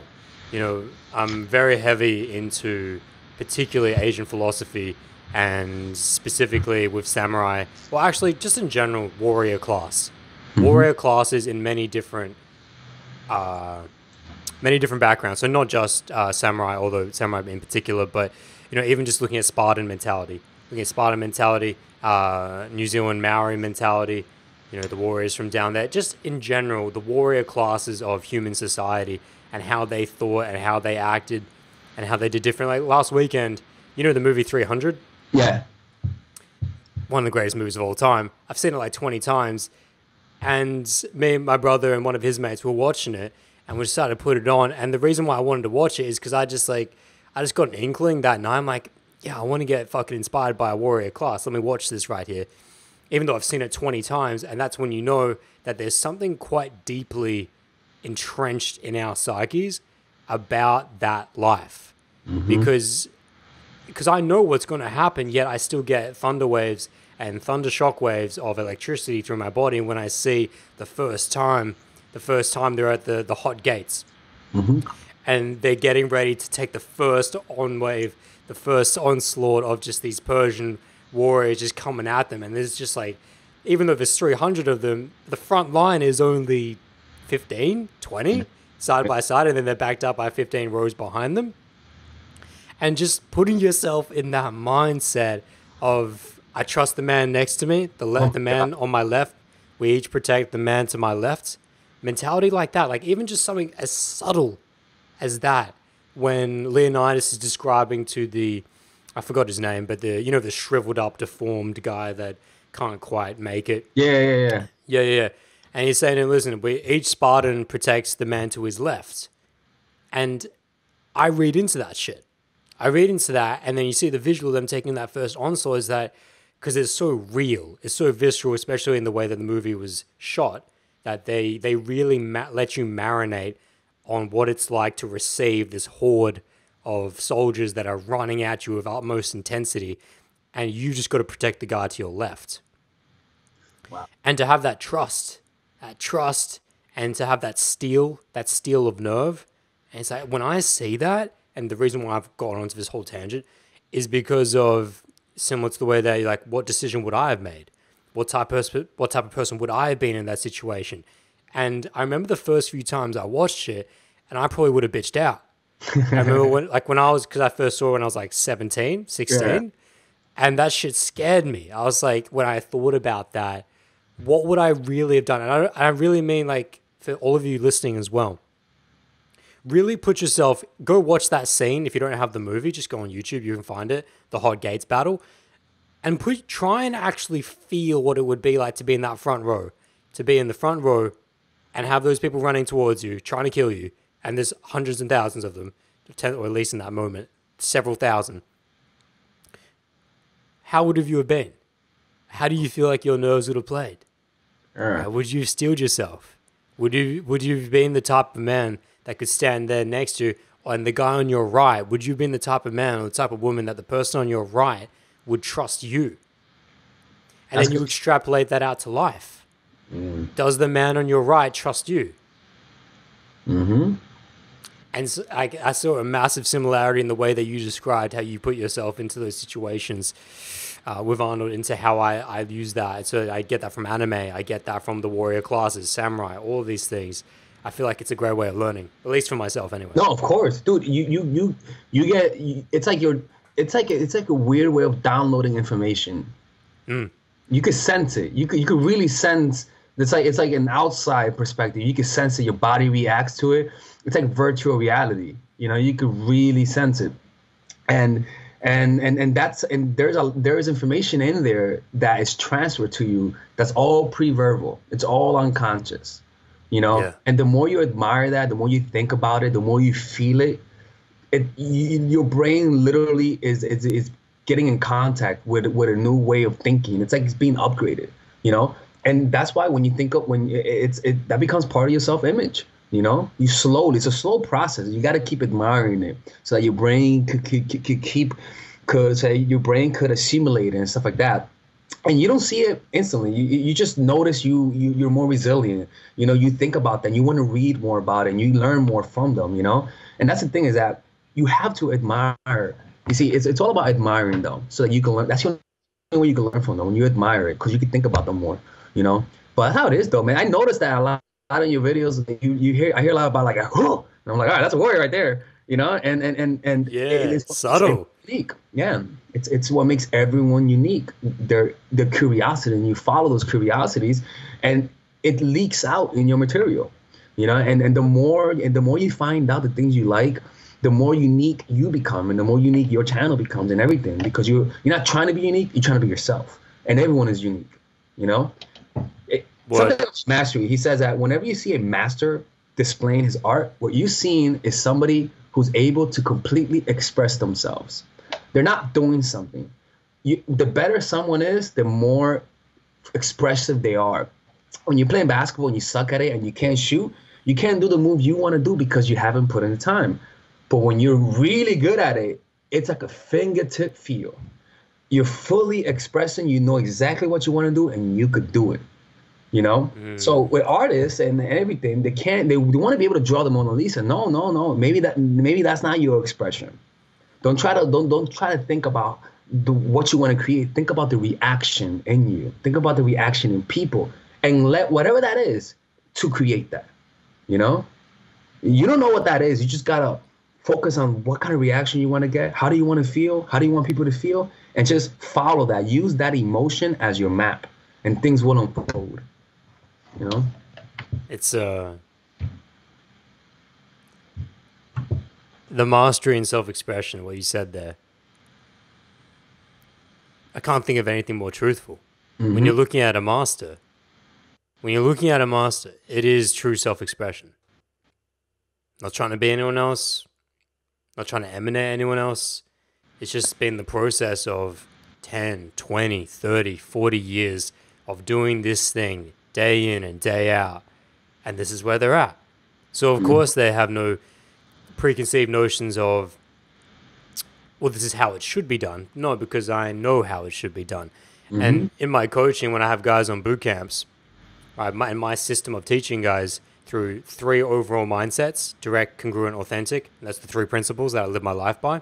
Mm-hmm. You know, that's the mindsets they need to keep in mind. But in terms of tactics, right, there's it's very much structure.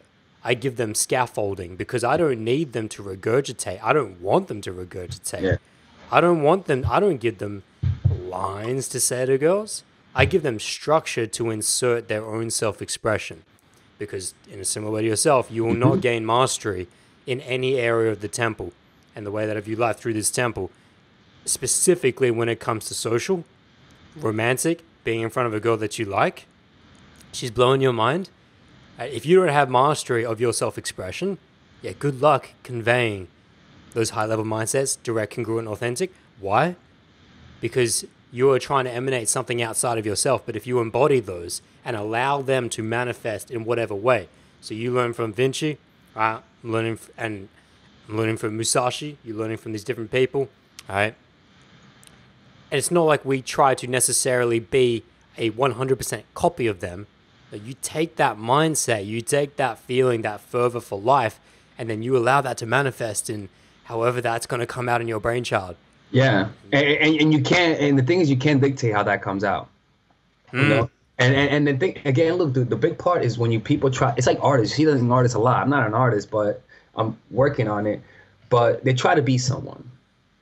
You know, and and the problem is, is that it's like it's like a child. You first got to learn to walk. You first got to learn how to talk. Before you have a personality, before people see your personality. You got to develop into that. And, and and mastery talks a lot about that. Is that when you try to cheat the process, people could tell. They could tell because it sounds like noise. It sounds like what everyone does. Everyone, so every dating coach sounds the same. People be like, "You're trying to be cool." Let me show you this, right? This is me trying to be cool, right? This is not real art. This is just me trying to create something that's to look cool, you know. And, and so, for those listening, he's just pulled a poster down of one of his uh, off off the wall. Yeah, and, one of his drawings. If I'm trying to create art, what's going to happen is that sure you you you'll get superficial praise, but it's not. It doesn't connect with people deeply emotionally. You know, when you create something that's of value, it creates an emotional connection. When you work on yourself fully and you grow in value, you will cause emotional connections. When you watch an amazing basketball player, you are in awe and that's what keeps you coming back to it. When you read a book and it's and it, and it connects at the core that's because that artist was able to fully express himself because he had a, such a strong grasp of the fundamental. He was able to go inside and what's inside and put it out effortlessly. That's a key effortlessly right? Because it can be it can't the only struggle is learning the fundamentals. The expression when you learn how to draw it feels like you've always drawn you're like, like, oh, well, I didn't know I'm good. No, you gotta look at your old paintings and you see how good you got. You see what mm. I'm saying? It's very hard. So it's kind of like to them, it just comes out. And when you see somebody faking something, you can see the effort. You can see the thinking. There's thinking involved. There's no fluidity. But when somebody is themselves and just expressing themselves, they created themselves through deliberate practice, not through shortcuts. There's not a lot of thinking. There's not a lot of friction, and it connects with you emotionally, man. Like when you're trying to learn a skill, you're trying to get at the depth of reality. You're not trying to you're not trying to create something. You're trying to you're trying to show you're trying to give people a glimpse of reality. That's why when you watch when you watch a when you watch an amazing painting or a good movie you can't forget that. Why? It's because they got they they got in touch with something that's real and they put it out there and it connected with you because it's already in you. You know like mm. it, it, it's it's if it doesn't create an emotional connection you're still not there and, and the thing is you can't force it you can't force being there. You just can't. You know, I can't create beautiful art. But if I, I give myself 20 years, it's impossible for me not to create beautiful art. It. Da Vinci, you could just have Da Vinci draw something. It's a, it's a masterpiece because it's just himself. He's just expressing himself. He, he took the years. Hmm. He's just doing him, yeah. See what I'm saying? It's crazy. Yeah, I love it. I love what it. Happened? No, I've got a question. I've got a question for you. Mm-hmm because we've been speaking a lot about mastery here, and I'm a big macro. I'm I like to shift gears in terms of perspective. I like to go from macro to micro on everything, and uh, especially in podcasts where we can do this. And one thing that I love about life perspective, and you're really good at doing this as well, is drawing out major perspective. And on the line of mastery, you know, when your life's done, if it's a vision, even if it's just a desire and there is no vision. What's mastery going to look like to you when your day is done? Well, man, it, to me, it's, it's it's more of a reflection of like the human potential. Because I was a late bloomer, you know, I started late. Mm. So it's kind of like it's it's it's going to be more of a a, a, a what do you mean by that? Can you give me, give me a better? Yeah. So visualize it, ground it in because I was talking to uh, I was on a podcast yesterday with Belku, aka Mario, and I asked him because we talked a lot about happiness, and I asked him because we talked a lot about it, and I said, just like I want to do with you here, it's just a just slightly different subject, slightly different topic. I said, you know, you're like you're 90 years old, right, and you're about to die. Mm-hmm. What does happen? What does a life of happiness look like to you? Mm-hmm. So if you just want to take that example, you know, you're on your deathbed, like your your day to die has come.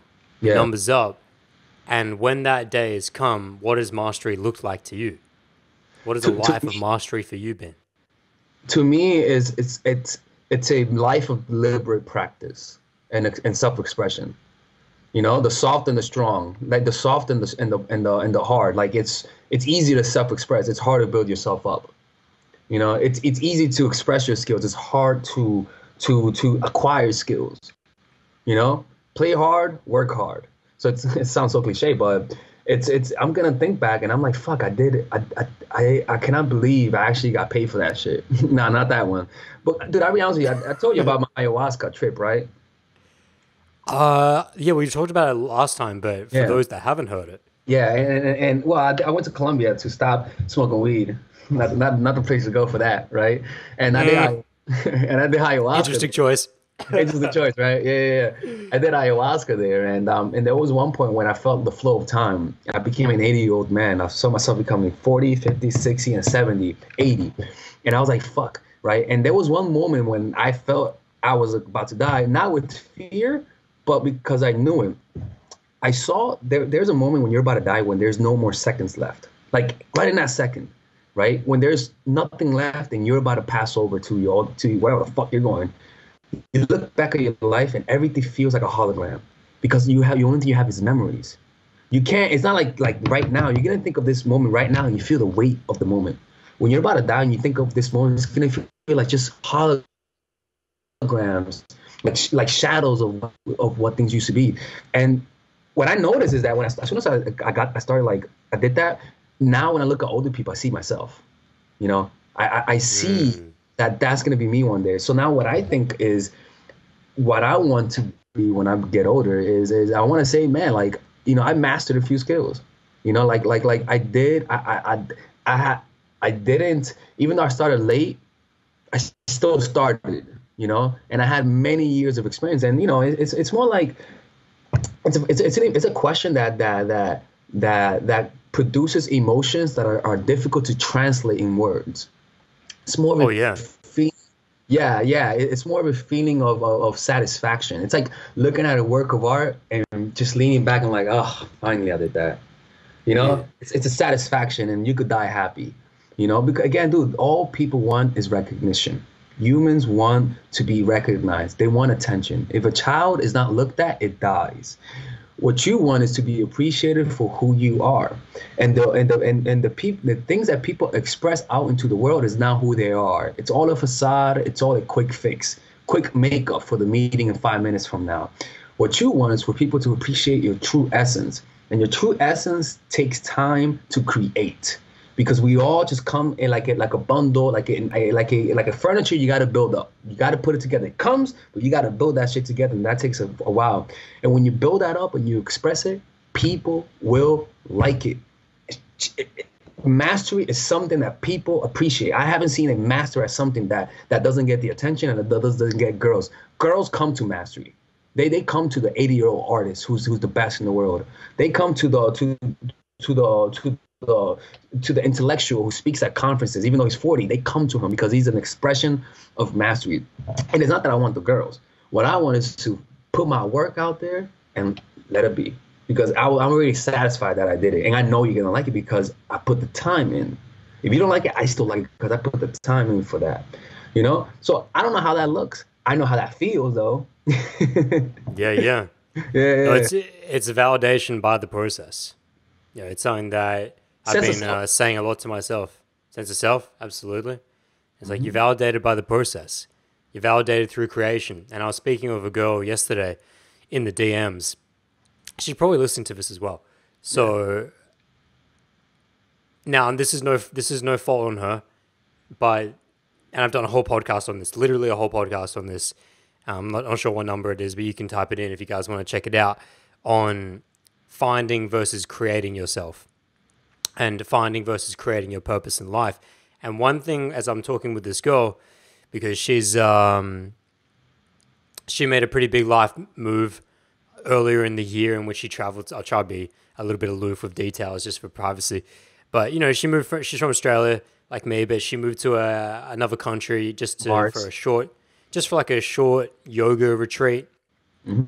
But then ended up falling in love with the culture there, and ended up staying for half a year. end up getting uh, qualified as a, a, a chef there and whatnot, and you know was loving it. And has now come back. She was like previously working at a job here in Australia, something that she liked, but not something that she was you know madly in love with.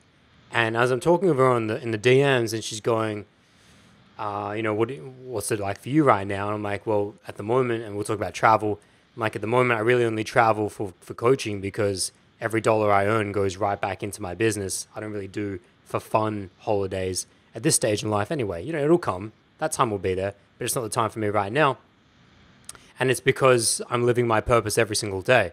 And she said something in very, that was just the context. What I'm really getting at here is that what she's about to say.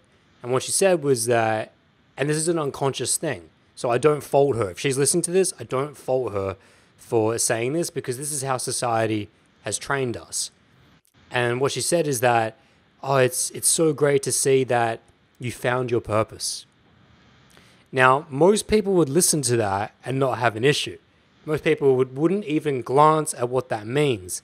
But to me, that strikes a real red X. That's a real thing for me where I go, no, there was no finding that purpose.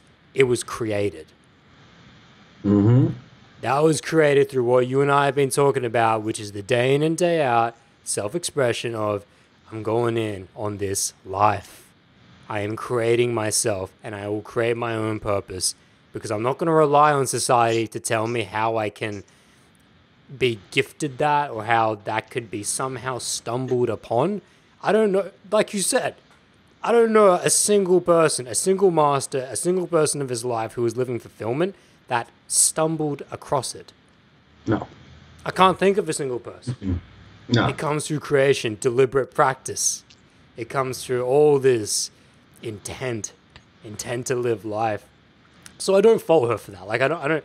It's it's an unconscious thing. If you're not deeply immersed in this style of thinking, I think because you and I are coaches as well, we think on a different plane as well. Not better or mm-hmm. worse. I'm always really careful to say this when it comes into terms of what it evolution. is. It is, It is, but it isn't. Yeah, yeah, it is what it is. Exactly. Well, that's exactly what it is yeah. right? It is what it is. Like I said this about uh, evolution. I was talking with Mick a couple podcasts ago about your social circle and about how having to cut out negative influences, people that are less evolved. And when I say less evolved, it is what it is. It doesn't make us better than them because we've been studying high consciousness material, working on our spirituality. No, we just are where we are. They are where they are. And one beautiful analogy that I heard I'm not sure. It's definitely not mine. I can. I'm not sure who to attribute it to, but a great way of visualizing this "we are where we are" is that if you visualize every single human being in the world standing in a line, just single file, and you just are where you are in that single file. You know, there are people much, much further ahead, 10 mm-hmm. years ahead in that line. And imagine this line of people is from the very existence of the first cell in this universe to the baby that was just born right now. Yeah. Think of every single being in that single file. You're just wherever you are in that single file. Mm-hmm. So, in that case, forget about comparing yourself to others. Forget about judging others in the sense of I'm better, I'm worse. That person's more successful, that person's least successful. Well, that person's just in a different pace in the line than you. Right? And you got to work your way through that line just like everyone else did. Yeah, yeah, it, dude, it's it's it's all, and then it's all. How can I say this? It's a. We're all just trying. People want to compete with others, and they just don't want to compete with themselves. You know, they want to get what other people want. Oh, I want that. But when you compete with yourself, you know what that means. I gotta, I gotta get better today than I was yesterday. This just I have to be better. Now I want to be better than than than than this one artist who's been doing it for ten years. No fucking way, dude. You're gonna get depressed. Be better than you were tomorrow, yesterday, because you that's achievable, you know. And if you trust the process, if you trust in long-term thinking, you and and you just believe in it, and you give it time, it will happen. You, you, just cannot you just got to stop focusing on other people. For example it's kind of when people people who do art right? And they look at other people's art and this is big they get discouraged right? Mm. Okay fine that's fine get discouraged. You just the problem is that you just don't have the right perspective you know? You you think that came out of their ass. It didn't come out their ass. They they they have their own unique perspective. So admire them and then say that you could do it too because like, yo think about anything that you ever did like youtube video having a youtube channel right? Like it's very hard to it's very hard to even get 10,000 subscribers. It's fucking hard. It's, it's mm. fucking hard right? And before you actually got it and you thought of people who had like 10k you're like fuck man look at them. But now you're in it. It's no big deal. It's you know? It- It's, it's no big deal, and, and and it's achievable because you did it before, you know. And so people who want things tomorrow, of course, you're gonna get disencouraged because you want it tomorrow. You know it's not gonna happen. Let me put a bullet in your head. Not put a bullet. Let me put a gun. I know what you mean. I know what you mean. gun in your head and, and tell you you got 10 years to to build up a skill set and and and and and and get good at it or get or become a 10% or even a 1% of course you're gonna do it and, and then of course people are gonna pay attention to you if i give you two years you're not gonna do it in fact you're gonna get disencouraged and may it may go into analysis paralysis give you more time you ju- it's just gonna happen. I mean, actually, I would even I would even bet against you because not because you're special, but because you have time. You know, it, it's it, it, it's just it's yeah. You said it right there. Not Yeah. because you're special, but because you have time. Mm-hmm. And and this is a this is a thing where when we're talking about time that I've loved to think about things in this way when we talk about time because it's actually a paradox. There's two sides to that coin of time, and there's two opposite ends of the polarity with it, in which I think we both we need to hold simultaneously, which is that with time, after this bottle, after we're done recording this, you could step out into the street because you want to grab like a coconut water down at the quickie, and then all of a sudden some guy mugs you and shoots you in the process, and your day's done. Right? That could happen literally after we finish recording this right now. And that's no lie. Yeah. Yeah. Yeah, especially New York City. now, New- actually, New York is not nearly as bad as people say it is. No. Uh, but anyways, the perception it can happen anywhere, right? You know, a car jumps the curb, you're done, whatever. So when that mindset, you have this moment. You only have this moment, and really, there is only one moment, and that is right now, and that the next moment is just the moment. We like to play games, and we like to say, and we and we are playing games. When we let's be real here, when we're talking about, I'm asking you questions about mastery over long term. We're talking about ten year plans. Mm-hmm. That is because as human beings, our minds are not equipped with the facility to be able to think and organize ourselves any other way. We have to be able to simplify and to be able to constrict our minds into thinking, okay, well, it's just too much information. How will I ever get anything done in this life? Well, let's create structure for thinking, the way that we've done in this potto. So that's how people get shit done because we can structure our minds. But let's not deceive ourselves in that the moment is just right now. So when we say, and this is the grounding here, when we say, yes, you got time, but you also don't. Because you only have right now, and mm-hmm. you could die literally in the very next moment. Or you may have another 10, 20, 30, 40, 50, 60, 70 years, depending on how old you are listening to this potto. So simultaneously, like you need to hold both ideas. You see, Robert Greene calls that psychological death grounds. You know, when Cortez uh, burnt all the bridges, I mean, burnt all, and he was like, well, you guys can either fight or die, you know? So He was a real motherfucker, man. I'm telling you, bro. I'm telling you. So so and and and and when you're when you're achieving a goal, your lack of ability to look into the future is because of your of, of, of your fe- of your inevitable seeing yourself getting older. That's one thing, okay? And and your lack of connection to death also causes time to be dilated in the wrong direction. You think you're you're never gonna die, so you don't feel no urgency. You don't feel you don't know that 10 years is not that long and it's going to come fast. So you feel like you have all the time in the world, especially when you're young. Mm-hmm. You have that illusion in your head.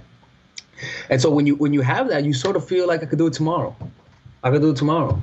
You, then you're 30, I could do it tomorrow. Then you're 40. you mm-hmm. know? But then also you could go the other perspective, right? And then say, I don't have a lot of time left. But also 10 years is a long time. You know? So so it's kind of, it's not a long time, but it's enough to master something. You know, it's Sure. just people just need to get into that mentality, man. Like like that short. Think about this, right? And you see this a lot in European countries, right? In New York City, when the way you see the skyscrapers or the way you see buildings are being created, they're trying to build things fast. So you see buildings and they're nice, but then you go to Amsterdam or you go to Italy where where where where everyone was creating art, even in the fucking buildings. And and mm. you'll see how beautiful it is because of the structure, everything, every little inch. There's thinking, there's creativity in every inch. You come here, you see buildings that are like fucking squares. Sure, that's nice, but they were just doing it for the money. There, Mm-hmm. you see the mastery because you see every detail. Everything is thought out.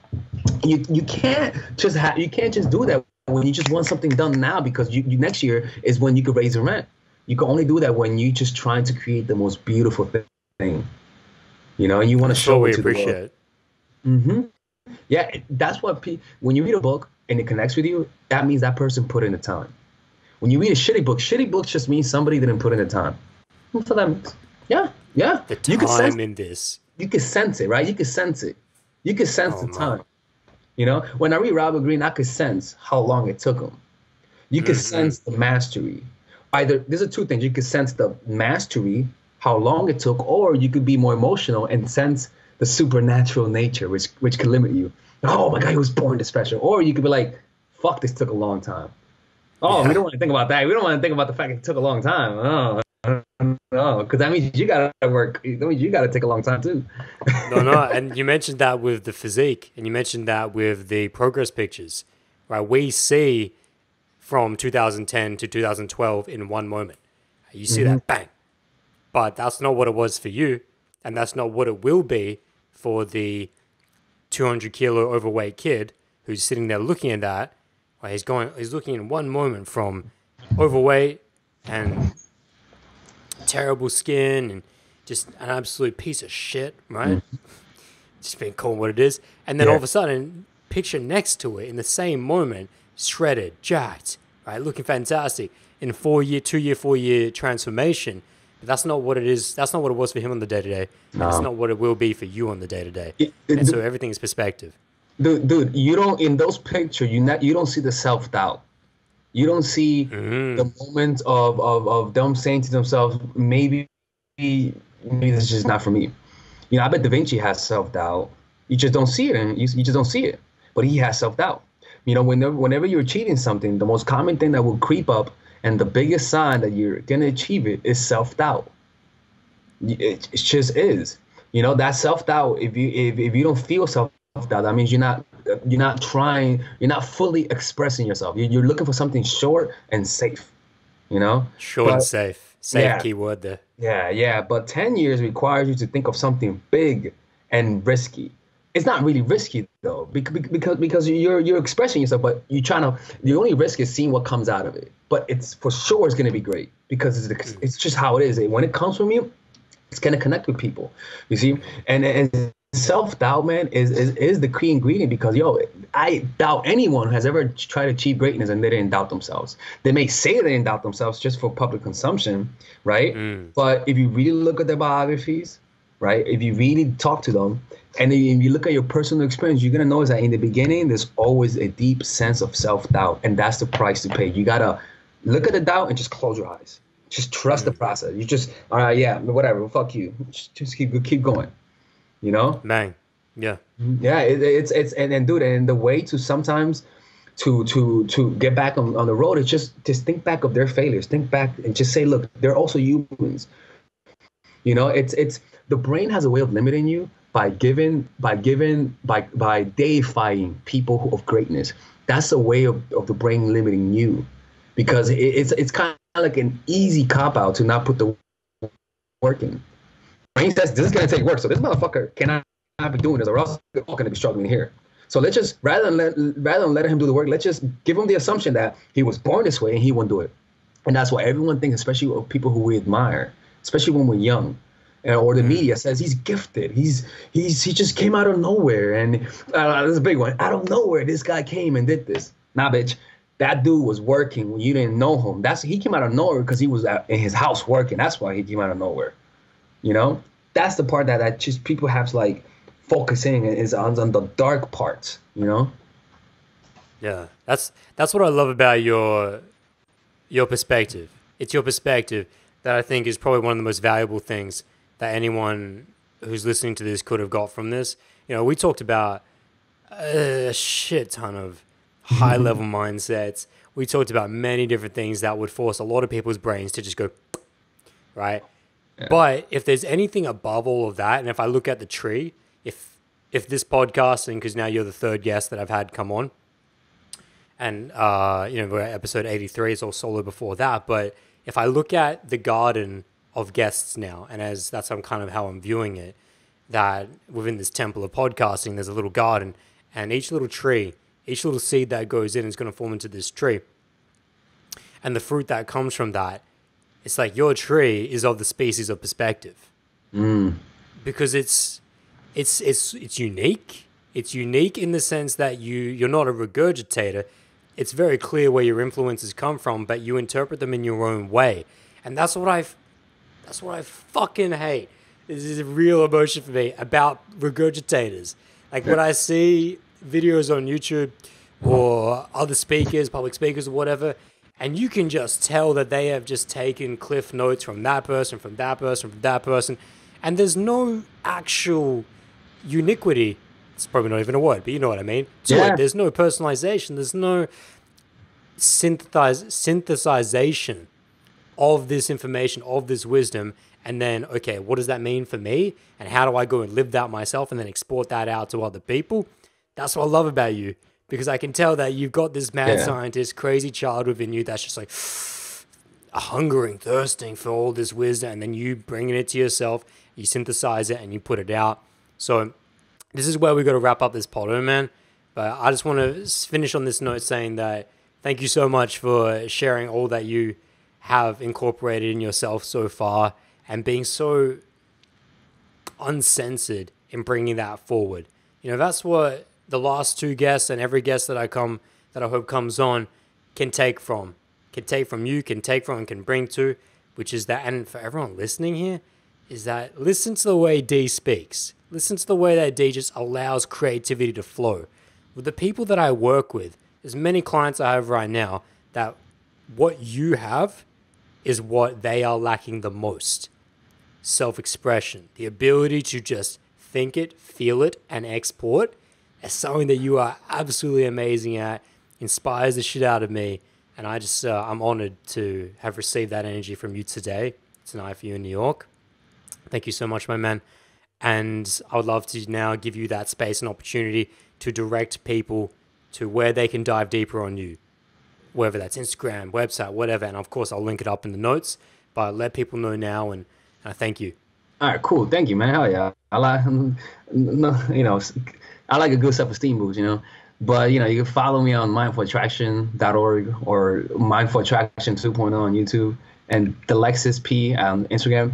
But I, my, I always, I always tell people, I, I rather give book recommendations. Read Mastery by Robert Greene. That and and and it, it doesn't connect to you. That's fine. But you know, the the, the first chapter of, of discovering your life's calling. I would highly recommend that because you know a lot of source of unhappiness is lack of expression. That's all that is. And we, when you're unhappy, you try to consume. When you're happy, you express. So that's all that is, you know. And um, yeah, man. You know, I don't want to. It's two hours in. hey, beautiful. Hey, Jesus Christ, two hours in. There we go. Yeah, Hey, that was absolute. That was, that's when you. That's when you know you're in the flow. Yeah, Joe So Rogan. That's on the what Joe. Rogan says to his guests. Ooh, two hours only. We're already two hours in. Holy shit. We don't know because that was just such a f- flow. That was just flow out of a cannon, man. Mm-hmm. So yeah, don't worry. We'll, I'm sure we're gonna get this again. I'm sure this is only uh, this is one leaf on your tree within this garden soon. Okay, all right, guys. That's where we're gonna wrap this up. And I wish you guys the best in your journey. Much peace and much joy. Ja. Word. All right, guys, thank you so much for joining us in this absolute exploration of life, of the psyche, of the mind, of our sense of self, everything we touched on. It was incredible.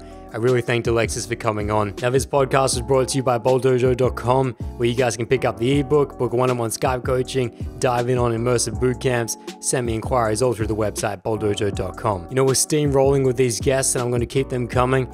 And I really just thank you guys for being here along the journey. So uh, connect with me outside on the gram, @ooitang1. You know, hit up D as well. Get involved in our universes. Dive deep on that feedback. I really appreciate that.